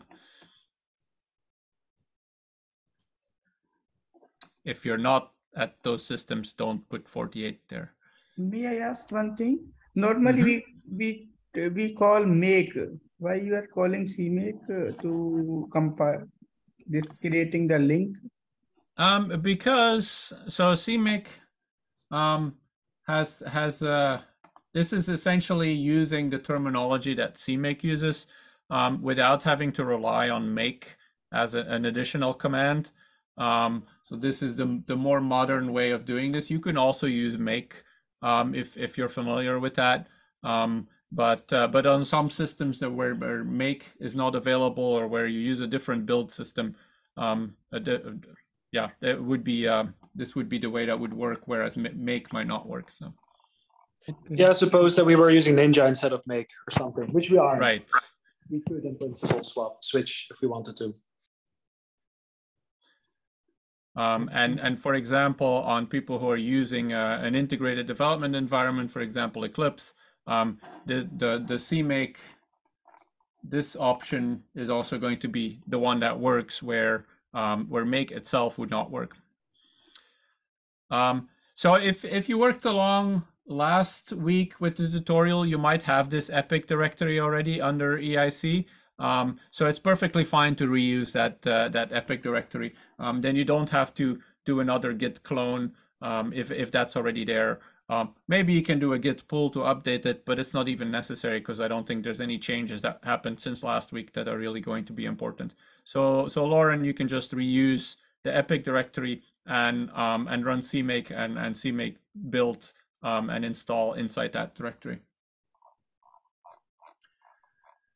So as you see here, it has installed um, these files in, under the install directory. Um, and uh, it will have installed it under this install directory just in the same structure that it would be under this opt detectors epic nightly um, directory that uh, that is inside the container. Except now i have of course full control over these files. I can update them. Um, in particular i can update some of the source code that underlies it and and reinstall it and it will update update those files. You see it has also installed this setup script um, which is going to be the one that we want to source in this case to use our local installation. So I'm going to be doing source install setup, um, and that will load the um, that will load this uh, this epic geometry. You also see that it's warning me that IP6 has not been loaded. Um, I have not checked out the repository or cloned the repository for IP6. So, so that only makes sense that it doesn't actually find IP6. Um, if I look at these variables like beamline config, um, well, uh, those those would not be filled in your case. In my case, it actually um, inherits them from the from the shell I was in before I started the EIC shell. Um, but those would not be set to the right values. In particular, if I look at beamline path, um, that is not the right value and it's not even available on this system. So, so I need to do something about that. Um, so what I'm going to do is I'm going to source opt detector um, epic nightly setup. So this will now set my beamline path to the right location. And then I'm going to in source my local installation on top of it, which will just set the detector variables. So I'm going to use a, a mixture in some sense of the, um, the, the beamline class, beamline geometry that's installed inside the container, but with my own geometry um, for Epic that's installed in this directory. That's installed in this install directory. Is it is it recommended to keep switching back and forth between setups without exiting? Did, did the previous vi- variables get confused with uh, new ones or? Um, is it recommended? Um, uh, so yeah, this is a little bit uh, a little bit clunky. I will agree that uh, um, we're still trying to figure out what's what's what's maybe the more user friendly approach here. Um, in particular for local development like this. Um, so so is this recommended? It's what works now. Okay, but we don't have to worry about interference between. No, I mean uh, these one. these setup scripts they just set the variable. Um, so so this should they should not un- interfere if you um you know you have to keep the order straight. That's the only thing. So.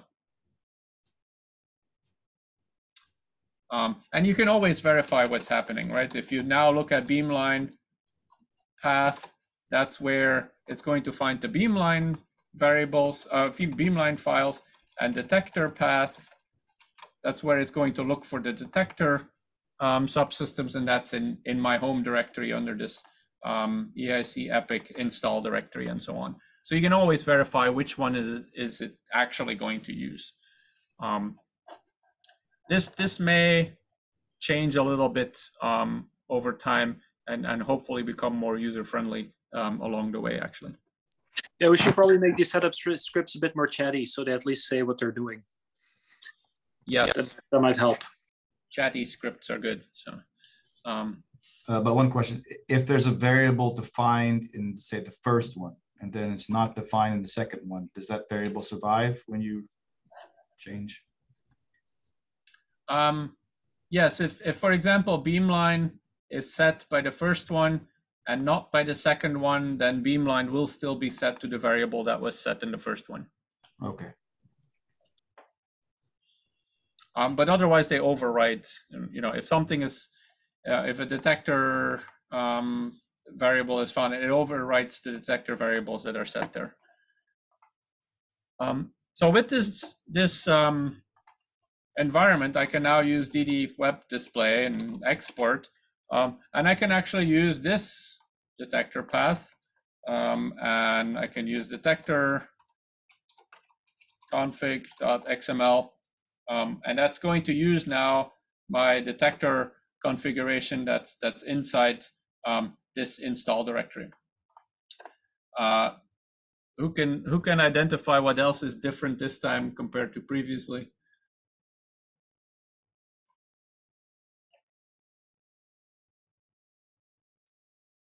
Anyone see any differences? So it's a it's a minor difference, but previously it downloaded one thing, just a field map. Um, now it actually downloads a second thing, which are those material maps for the, the track reconstruction.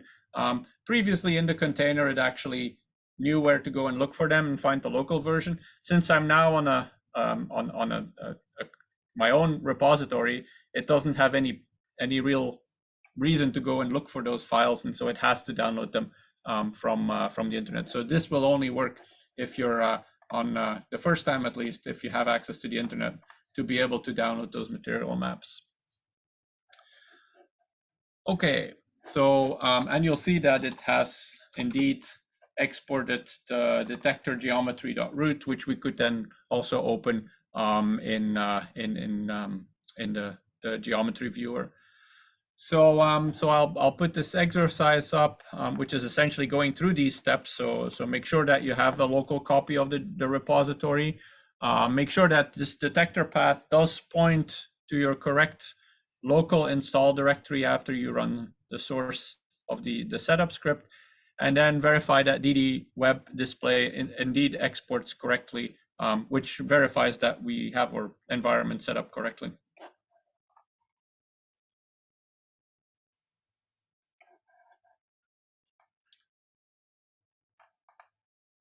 So Devin, um, did you first run, so you're saying that your beamline path and config are, are empty after running source setup.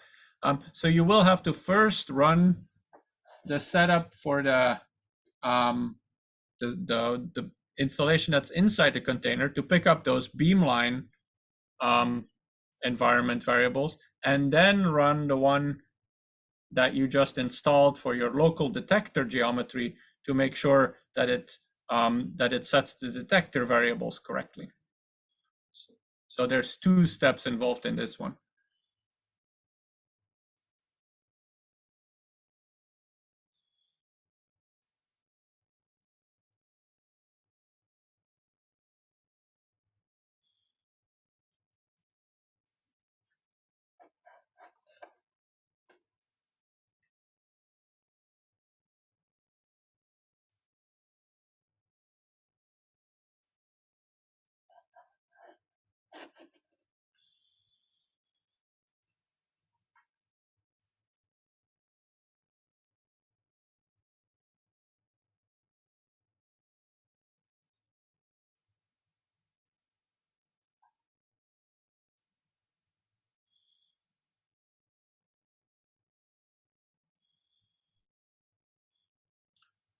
Okay, if you uh, if you successfully exported that geometry and it and it is indeed from your local um, local repository, then uh, please give me a thumbs up in the chat so I can uh, I can know that uh, that worked.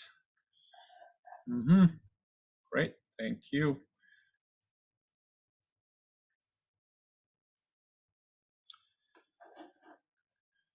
So now um, now that we know how to install our own local copy, that means we can actually start making changes to the underlying um, geometry plugins. So remember when we were looking at the XML file, um, there was this type and all of you picked um, a detector system and identified what the type of that detector system was. Um, that type describes which source file in this source directory is actually used to construct the geometry. Um, that is the part that actually does the geometry construction pretty much um, the way you would do in Geant4 by creating volumes and logical volumes, physical volumes, and so on and so on, except it does this in um, a more DD4HEP based um, approach. remember that in the case that I showed, uh, what we were looking for was, was something that was called epic underscore vertex barrel. Um, and of course, you'll you'll notice right away there's actually no epic underscore vertex barrel um, anywhere here. Uh, so the reason why that's the case is because we can actually define multiple different um, plugin types with the same source files. So we're going to actually first have to find which one of those source files defines this particular plugin. Um, and then we're going to take a look at that particular plugin. So I'm just going to use grep um, and search for that in all of those, those CPP files to identify which one has uh, Epic Vertex Barrel defined. Um, source star CPP, there we go.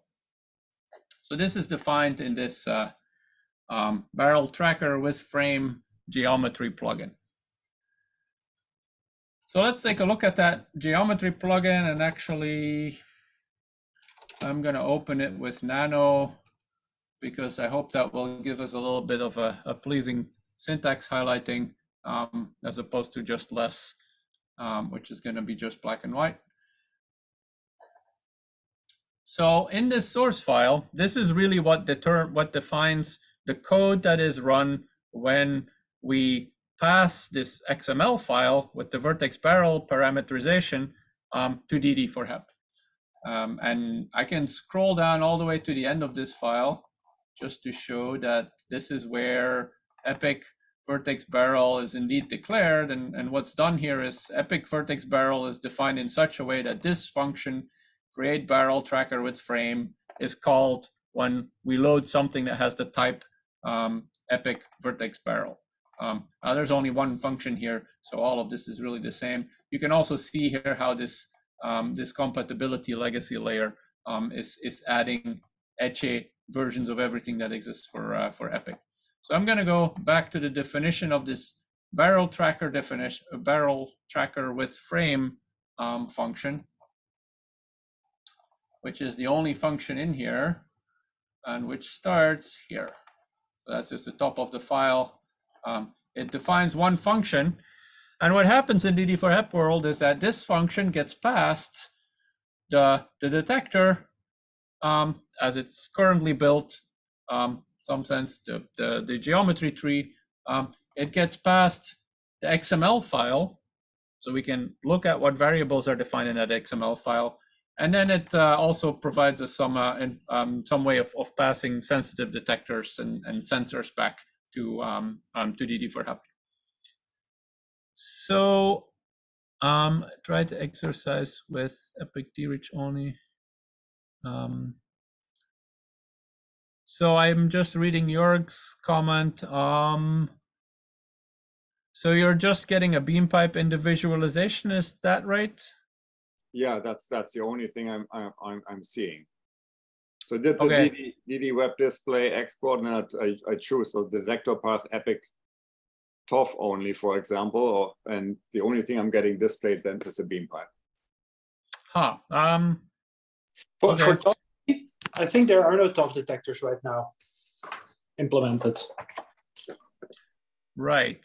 But So there that is a dRICH, so uh, so I don't know if the dRICH is disabled um, in dRICH only.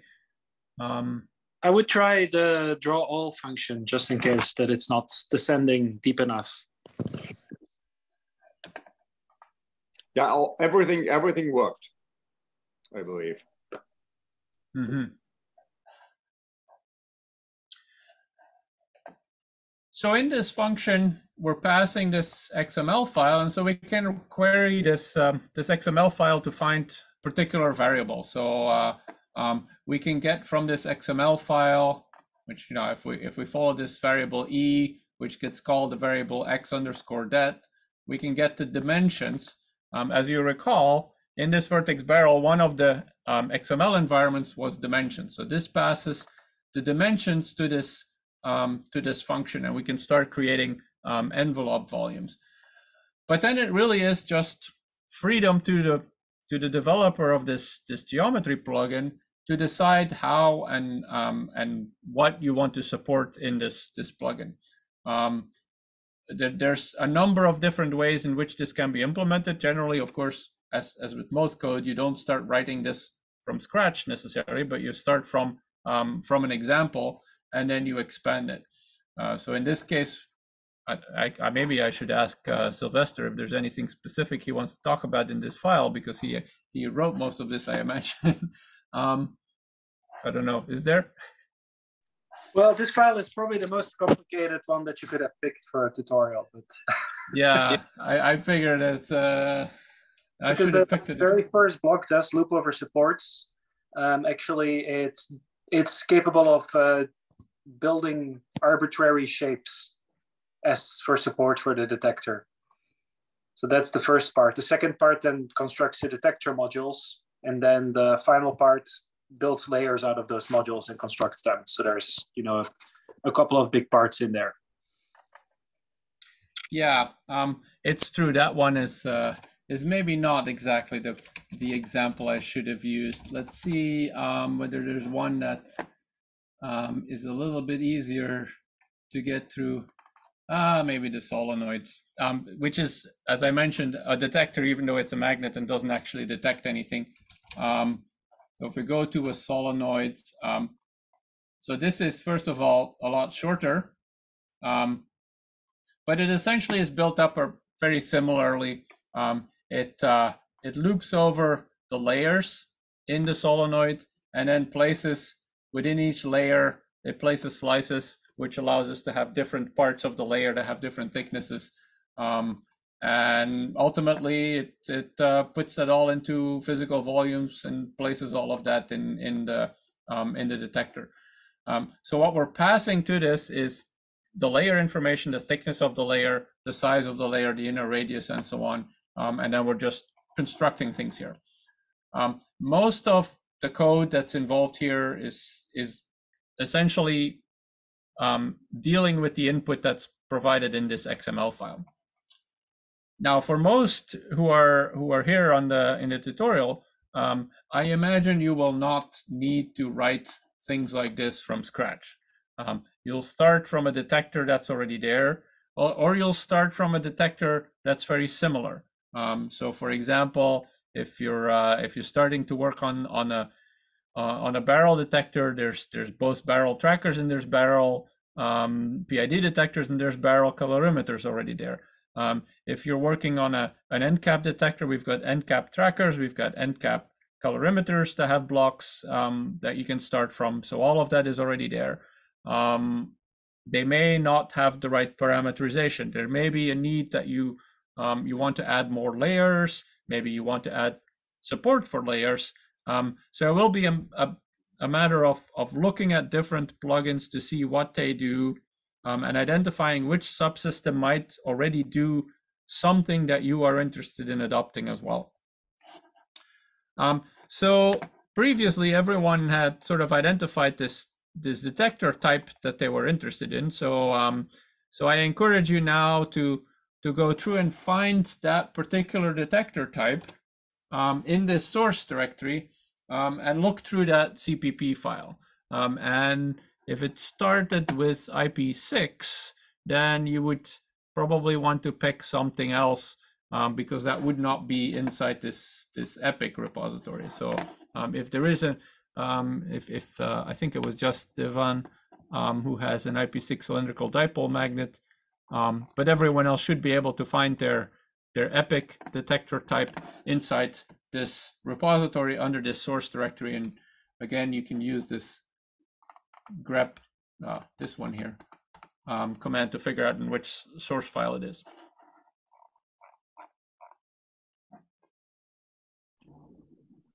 I have one thing to ask to you about mm -hmm. because you written the material map generator code because you written that I remember for the no, uh, material map for the geometry basically you written the code so i want to ask detail so we have the each detector xml file. So basically you runs all over the xml files and then produce the map. Yes? Is it like that?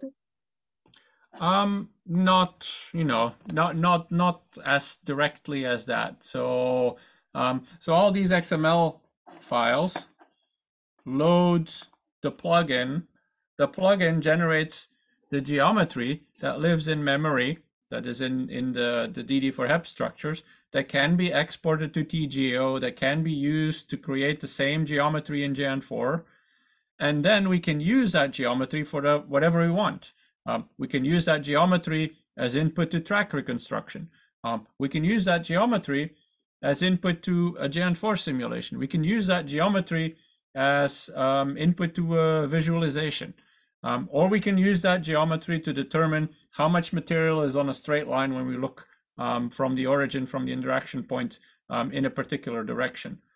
So those Ah, are all interfaces that that use the, the, the DD4HEP geometry description in memory after it's been loaded by XML. But you don't have to do any of that work yourself. Most of that is already um, provided at, you know, there's hooks in the DD4HEP geometry description that allow you to query that information easily. Ah, okay, now I understand. Normally, when I do the in the Geant, I generate the Geant, you know, then I track the whole the particle, then I sum the radial length. But this basically done by the geo geometry geo manager, basically somehow. Uh, Uh, yeah, um, it's the, the- it's not the geo manager, it's the DD4HEP geometry manager. But uh, um, if if you tell me a point and you tell me a direction, um, then the the the DD4HEP geometry manager will will return a table with how much material at which point and what radiation length is is in that direction. okay, okay, thank you. Yeah, you really have all the options there because if you wanted to do, say, a Geantino scan, which is something we still do for the tracker material map, you can do that as well. Mhm. Uh, do you have any command? Can you first? I can try for one detector if you have some command. Um, I don't know it off the top of my head. Uh, There's definitely a command that you can type on the XML file that will do exactly that. oh, is it material scan? Right, that's it, It's, right? it's one of the two, yeah. Um, yeah, so material scan, detector, path, detector. I tried this, but it, this is giving some strange thing. That is what uh, I don't understand. Let's see, zero zero zero to um, one one one. Um, this will now should now give a table of all of the materials between 0.000 0.000 and 0.111. Um, uh, Should- You should maybe have picked something outside of the beam pipe. Oh, right. This is in, in millimeters and centimeters, not in meters. I, uh, yes. Um, so that will give us uh, ideally a table. And let me decrease the font size. Eh, that doesn't necessarily work. Um, yeah, so that's what I was worried about. Um, so you get all the materials. It starts with vacuum, vacuum, vacuum. These are just different different volumes that it's in, even though they're the same gold, um, beryllium there. I kind of like the gold is giving me, I don't know if you see that on the screen, but in my case, it shows a gold square now. Um, and so you have all the materials as you go through the um, through the detector system. Apparently we have air between our tracking layers. Not Yeah, the detector should be filtered by default. Okay, good. But I Um, didn't understand the vacuum. First is vacuum, next again vacuum, and then again next vacuum. This is what I don't understand. Yeah, I mean, the next one, these are all um, This short is, volumes uh, of vacuum. This is a detail on how the beam pipe is built. um, Right. for- So it's an annoying idiosyncrasy of an older version of ACTS uh, where we needed to define essentially a vacuum beam pipe inside of the beam pipe because else when the volumes were too close to the, tra- the first tracking layer, it ran into issues trying to determine it, it, its uh, Mhm. geometry navigation. Um, that's something you shouldn't have to worry about, and it may not even be necessary anymore. Um, but this was necessary at some point because of the reconstruction. That's why the essentially we have a vacuum, then we have a fake beam pipe, which is a vacuum cylinder inside of there, then more vacuum, and then the regular beam pipe, which is a layer of gold and a layer of beryllium. Then you have air that sits um, outside of the, the silicon tracker. Then you have the air that is part of the essentially the silicon tracking layer, which is why there's two layers of air. Um, and then behind that, there's, you know, you have the layer that has a bit of air in it. Then there is the air between the different layers. And then you have the next layer, which consists out of air, silicon and air again. So that's how to understand this, uh, the structure. Okay, okay, okay. Thank you. So now I Mhm. understand. So, um, so I hope everyone has identified which source file corresponds with that detector type that you're um, that you identified as as the one you're interested in. Um, so I'm gonna go and I'm gonna use the solenoid one now because it's a it's a little bit easier to do. Um, if if you're interested in in using the same file, you can also use the solenoid. Um, I'm just going to edit this. Uh, what was it called? Solenoid geo.cpp. I'm gonna make a minor change and then compile it, reinstall the changed geometry, and then run with that changed geometry. So what is a minor change that we can do? Well, it's it's printing some debugging information. Um, I don't think this has any debugging information in it. Um, and I should have prepared for this by how do we do info uh, statements again? It's it's uh, I gotta go um, verify. So I don't know how to program off the top of my head either. I also need to look at other people's code before I can figure this out. Um, so is there somewhere here someone who does a print statement for uh, uh, Sylvester? Help me. Where is the print statement? Oh, there was one there. Uh, this is a format print statement. Um, Sorry, I, I, wasn't paying attention for a second. But I print out. was- That's it. Yeah. Thank you. Yes. Uh-huh. With all these different frameworks that we're using, they all have a different debugging output print statement approach. So uh, so I tend to forget. So I'm gonna print something here. So yes, file loader print something. That's true. Um, so I'm gonna print and I'm gonna call this, so this is in the solenoid plugin. And I'm gonna print layer, I'm gonna print something from this layer. Let's see, what are we gonna print from this layer? I'm actually gonna put it over here. So inner radius is going to be this inner R. So this is a fairly, as I'm, I'm sure you'll you'll uh, you'll appreciate, this is a fairly innocuous change to the geometry. Um, I'm going to actually call this, going to give this a higher priority, so I'm I'm sure it will actually be able to be printed out. Um, you know, this is this is mostly to to demonstrate that there's an effect from from the changes that I'm applying here, right?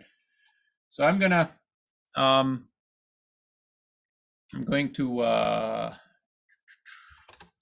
save this and go back to my CMake build install and it will recompile that solenoid. Um, all right. Uh, yeah, the plus is for a string. Uh, I'm, I have to admit, I'm kind of winging this here. Um, and I should have uh, should have probably prepared something here a bit better than than I have. Um, so so the plus would not would not work with the double. Um, I'm trying to remember now. Just use the two string. Um, okay. Um,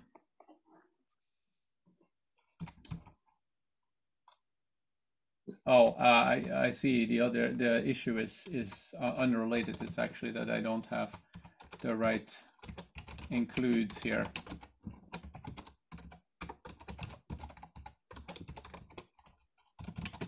Let me verify with file loader that this is actually the right one. Yes, print out. Okay. So then in this case, it probably would have worked the first time around as well.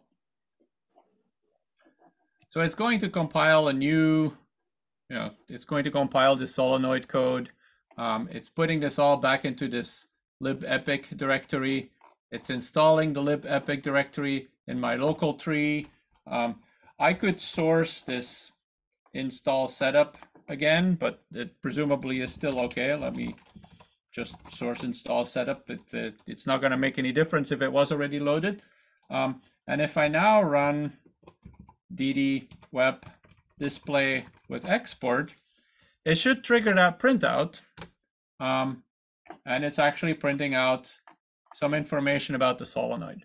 Um, so the reason I did this here is of course not because I'm so interested in where the layers are for the solenoid, but to demonstrate that, um, that this is a way in which you can just make small changes to the geometry um, or even add debugging statements to the geometry and see the outputs of them appear here.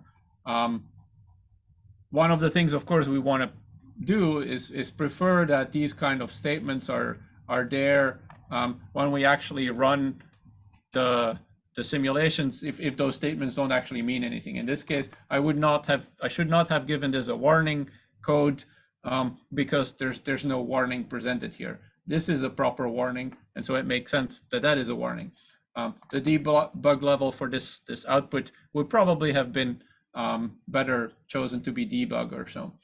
Something we want to avoid, Sylvester, um, is is these kind of printout statements um, that don't actually have a, a, specific printout level. I think these are part of the tracking, right, Sylvester? I have no idea. They should not be there. Yeah, I think they're they're at some point uh, going to disappear. Um, so um, so with the type of detector that you've identified for yourself, um, try to do something similar. Just take a look at that um, at that type and print out something, some variable, either a, a double or, or a number or a string, or it doesn't even have to be anything. Could be a could be just text as well. Um, and see if with DD Web Display it actually prints those those values. Um, of course, we're not just going to want to use this with DD Web Display, um, although it's a convenient little command that um, that that loads the geometry. Um, we're going to want to run an actual simulation, and that's going to be the topic of next week's um, uh, next week's tutorial. So, so ideally, of course, you would run this, um, and then uh, you would make the changes, compile, um, have this in your local directory, and then run a simulation against that code. But that will be a very similar approach as running DD Web Display. The only difference will be we're going to run DD Sim with that geometry file. Um, and you know it's not going to do anything because I need to specify more commands. Um, but uh, but that will be loading the same geometry in exactly the same way, um, and it would also run those printout commands. So um, so, so change the the source file um, of the type that you selected earlier um, and add one of those printout statements, similar to the, the code that Nicholas um, posted there in the chat. And then recompile and rerun um, the DD web display export.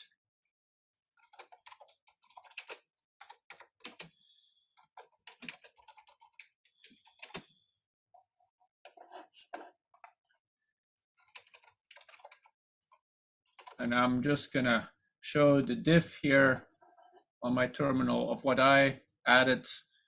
Um, so, so you have that for reference there as well.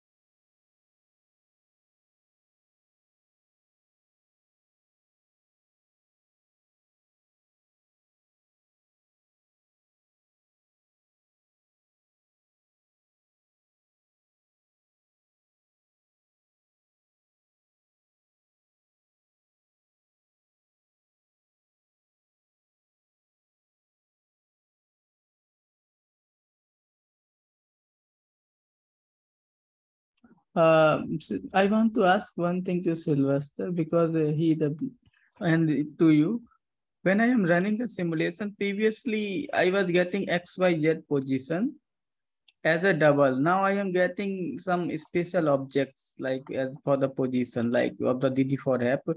Now I cannot read outside the DD4HEP. So is it intentional? I print on the, I sent on the chat box. How to access the position outside the DD4HEP? Um, so I think you are um, you're probably writing to a regular uh, root file, right? Not with the extension edm4hep.root. So okay. I would I would say try to write try to run the simulation with output to um, edm4hep.root files. They have to end with edm for hep.root. Let me just edm for hep.root um, in order to actually be written in the edm4hep format. Um, the format that you're writing in right now is just an internal, well, is is a, a non-standardized DD4HEP format, which we're not using.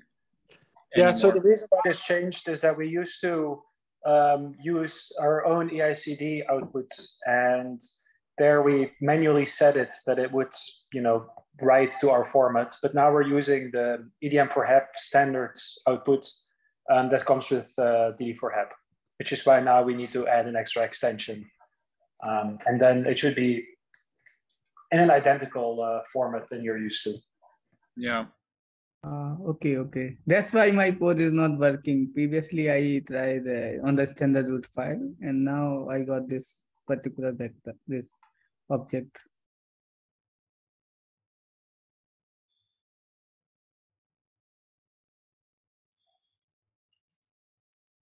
as always, we, we profusely apologize for any past and future breaking code.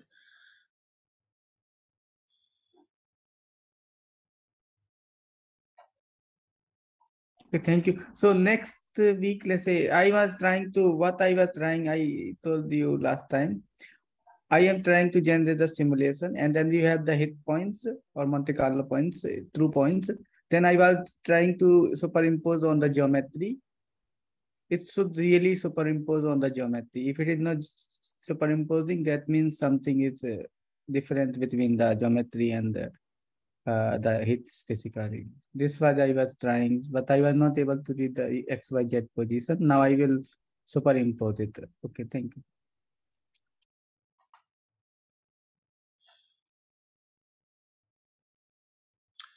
Okay, so if you've uh, um, recompiled and rerun the DD for the, the DD web display, and, and you could indeed see the, the printout. Um, just give a thumbs up in the in the reaction so I know everyone's at that point.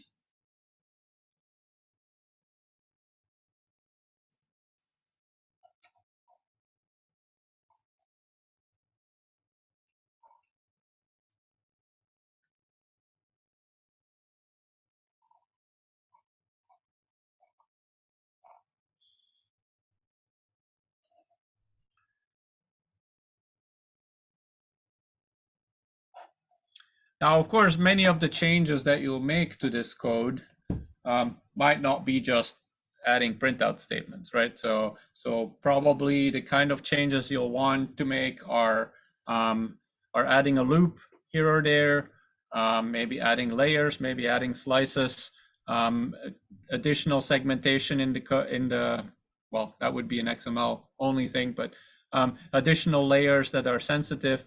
Um, in many cases, it may make sense to to sort of bounce off your ideas in a in an issue um, report on the uh, on the geometry repository because then it allows other people to comment on it, and we might be able to give you advice on, you know, is this a good idea? Is this uh, or or is that the more difficult way of doing things? Um, we also might be able to tell you if this is what you're doing. Take a look at I don't know take a look at uh, the the forward um, ecal code because there's already something happening there that is very similar. Um, so so we certainly don't want to make it uh, difficult. We want to make it easy for you to be able to make those changes. Um, and uh, and we have a little bit of an overview that allows us to do that. So so do make use of that rather than um, trying to do everything from scratch yourself. Um, so that about covers it for today. Um, let's see, what time is it?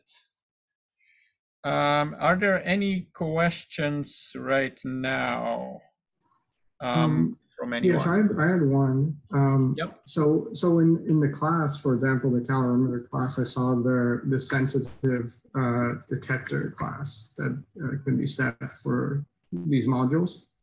And um, is this some, so I know when you run Geant, usually you have to kind of define this like a sensitive detector class by hand, right? Or they have some like predefined scores. So, so what's actually being done here? Um, so, so you're looking in, um, in, uh, which one calorimeter? Um, like this homogeneous calorimeter. you Right. know, Oh, there's And then no there's diff- something called like sensitive detector, uh, which seems Yes, class. um, so there's a sensitive detector here. Let's see, oh, this is adding, yeah, okay. Um, so when we define things in, um, this is actually a, a very general um, class that allows you to, to create any kind of um, calorimeter, whether it's in um, i- is something that consists of lines of blocks, of disk, a disk filled with blocks, um, or individual blocks with positions. Um, the sensitive detector um, that that is included here um, tells DD4HEP to treat this as something that will store hits, um, and the type tells it what kind of hits it will store. So, for example, for a, a calorimeter, it will take all of the energy depositions and turn that into one calorimeter hit per sensitive detector volume. For trackers, every individual Geant4 hit is used as an output hit. So this sort of defines those two major types of hits.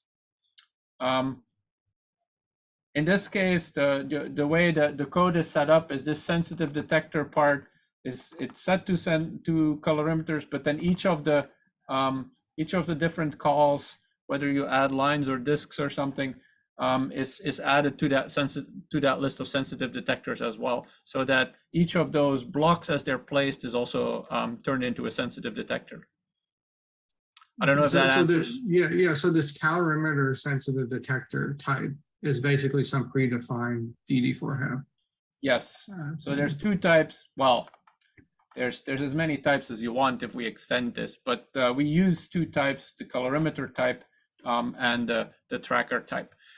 There's um, there's ways in which you can hard code this here. Um, there's also ways in which you can still change the type um, after the fact, and so um, uh, on runtime, um, which is what we do with, for example, the um, the the the photon sensitive detectors like the the rich. In that case, we're using a tracker here, even though we we then modify what is meant with tracker for that particular detector um, at runtime.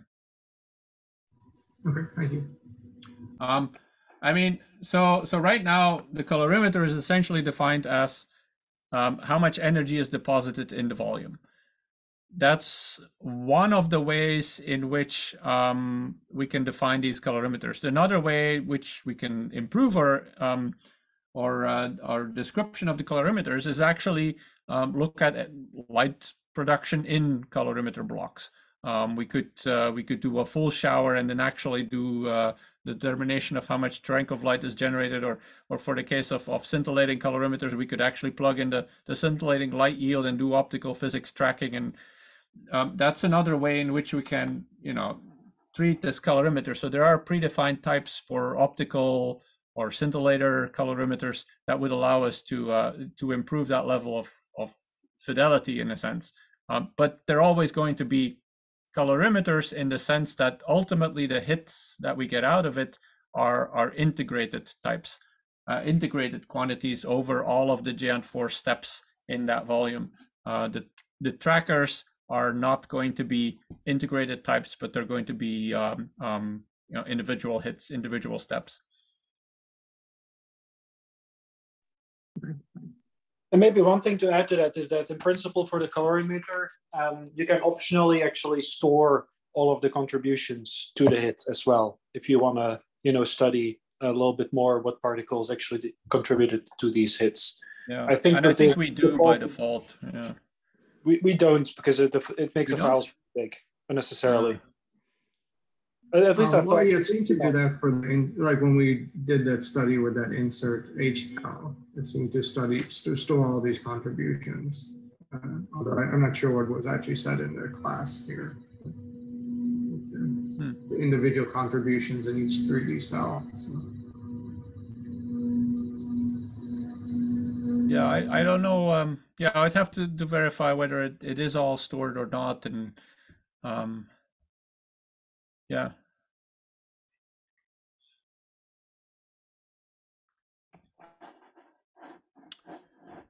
Um, yeah, so I will be posting those notes um, on on uh, Indico, hopefully by by tonight, um, and turn them into uh, another um, sort of carpentries tutorial type page like last week's.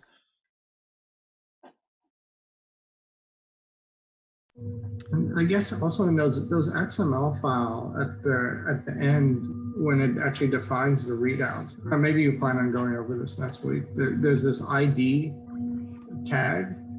Mhm. Um, and I never could understand what, what that actually meant or whether it's important.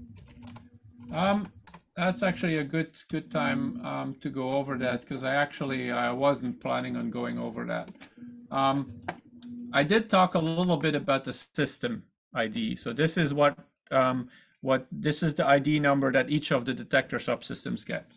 Um, so the way Geant, uh, the way DD4HEP stores hits or, or identifies in which detector component hits are stored is through this ID field.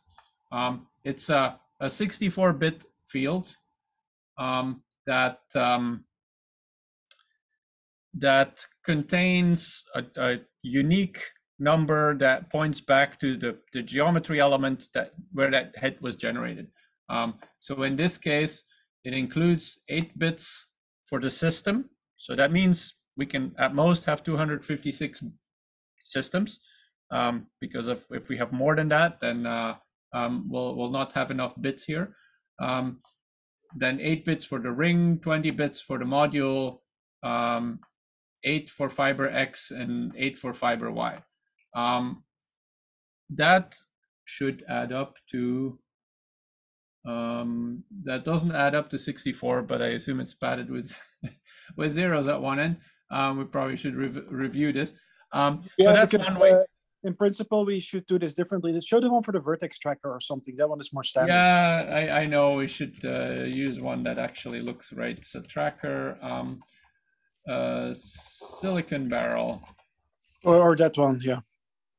Uh, this one allows me to point out some other issue there. Um, so in this case, we're doing something very similar. It's, you know, system, again, the same eight bits. Then because there's multiple layers in the, the silicon barrel, um, we, we have an additional layer field. We have a module field. We have a sensor um, field, essentially one side or the other side of the plane. Um, that's why two bits is, is sufficient. And then inside that entire sensor, we have an XY segmentation. Um, so in this case, it's just a Cartesian grid XY with um, 10 micron X, 10 micron Y pitch. That's the pixels of the uh, uh, of the silicon barrel. Um, those X and Y um, positions, we give additional um, bits as well. So now a particular 64-bit ID will give us uniquely which system it was in um, and, and which layer module sensor, but also which X and Y pixel um, the hit came from. Um, and you'll see that uh, in this case, we have, uh, we should have 32 bits on this top half, and then we have 32 bits on the bottom half where, you know, there's some, some funny encoding happening here with the negative numbers, but essentially um, 12 and, and 20 um, gives us the lower 32 bits um, of, of the hit. Uh, so we can do this on the, the Sagitta, we can do this on the outer silicon barrel hits. Um, these readout names are just what collection the hits then end up in, in the file. Um, so um, most detectors that have modules like the um, like the calorimeters, like this homogeneous calorimeter, don't need this additional segmentation that the, the XY um, grid gives us here. And all of the um, identifying information is, is in particular in this module number. Um, in the case of the um, of the tracking detectors, there's a lot of information that is also in this XY um, uh, pixel position within a sensor. I don't know if that that outlines a little bit how um, uh, Barak, whether that answers a little bit your question. Uh, yeah, to some extent. Yeah. Yeah. So the so a couple of other things to point out is that this particular one or segmentation type is called Cartesian grid XY, which means that we do overlay an XY grid on top of whatever geometry we have. So we don't actually need to make sensors that size. We just overlay a grid of 10 microns. And then the, syn the syntax for the ID. Uh, you see after the X, it says 32. That means that we're skipping to the last 32 bits, regardless of what we put before. Um, so in case that whatever comes before doesn't add up to, to 32, we still, you know, nicely put the, the final segmentation in the, in the second half of the, the, the long, essentially. Um, so we skip to the last 32 bits, and then we say we have assigned um, 12 bits and assigned 20 bits for Y. The reason that they're 12 and 20 and not say 16 and 16 is that these are narrow long bars and we need actual the 20 sign bits to really address the y direction properly. While the x direction is pretty narrow so we don't need that much bit depth. If you get that wrong you'll get errors during the simulation. May i ask and unfortunately you won't get any hints in those errors as to why I can say something here. Can I say something? So when I generating the cylindrical layer in Geant or any geometry manager, what I will do, uh, I will take the X dimension or one dimension as a fixed dimension. Then we have the RPhi dimension. We have to specify the angles of the pixels. Then it generates the pixels over the circles. But here we have the XY, how it is generating the same size pixels. That is well, but in Geant4, when you're defining a RPhi, um, you know, we don't make silicon detectors that are, well, okay, I'll take that back in a second here for the vertex tracker, but we don't make silicon sensors that aren't flat. They're all flat. They're, the, the, these silicon detectors are flat and they have an XY direction. We could have treated this as a cylindrical RPhi direction, um, but that would have require that we have a, an incorrect model for or tracking detector, which is an actual cylinder. That's an approximation. The correct geometry is is a flat sensor. Ah, okay, okay, okay. I was not aware. Thank you. Yeah, here we're actually building staves that are, you know, somewhat tiled together to form the barrel. Okay, thank you. But there's also Yeah. an RPhi segmentation if you want to use that one. There's a there's a I think 15 or so different segmentation types predefined, and Mhm. maybe we may for some detectors we may need to define our own going forward at some point. Right. Yeah, so the, the, the definition of the, the geometry plugin that uh, that we looked at, that is essentially how everything is defined in um, in DD4HEP. Uh, everything is a plugin. Um, if you want to define a new physics list, it's a plugin. If you want to define a new um, sensitive detector type, as, as Chris, for example, has is now familiar with, um, it's a plugin. If you want to define a new segmentation, there's going to be a, a similar plugin. It's essentially a function that does one thing, and you can decide to use it inside an XML code, or you can decide not to use it in an XML code.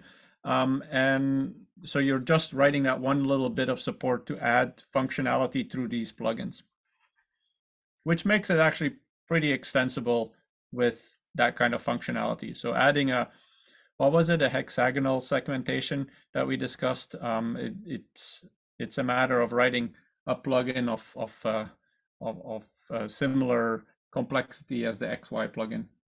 Well, maybe a little more.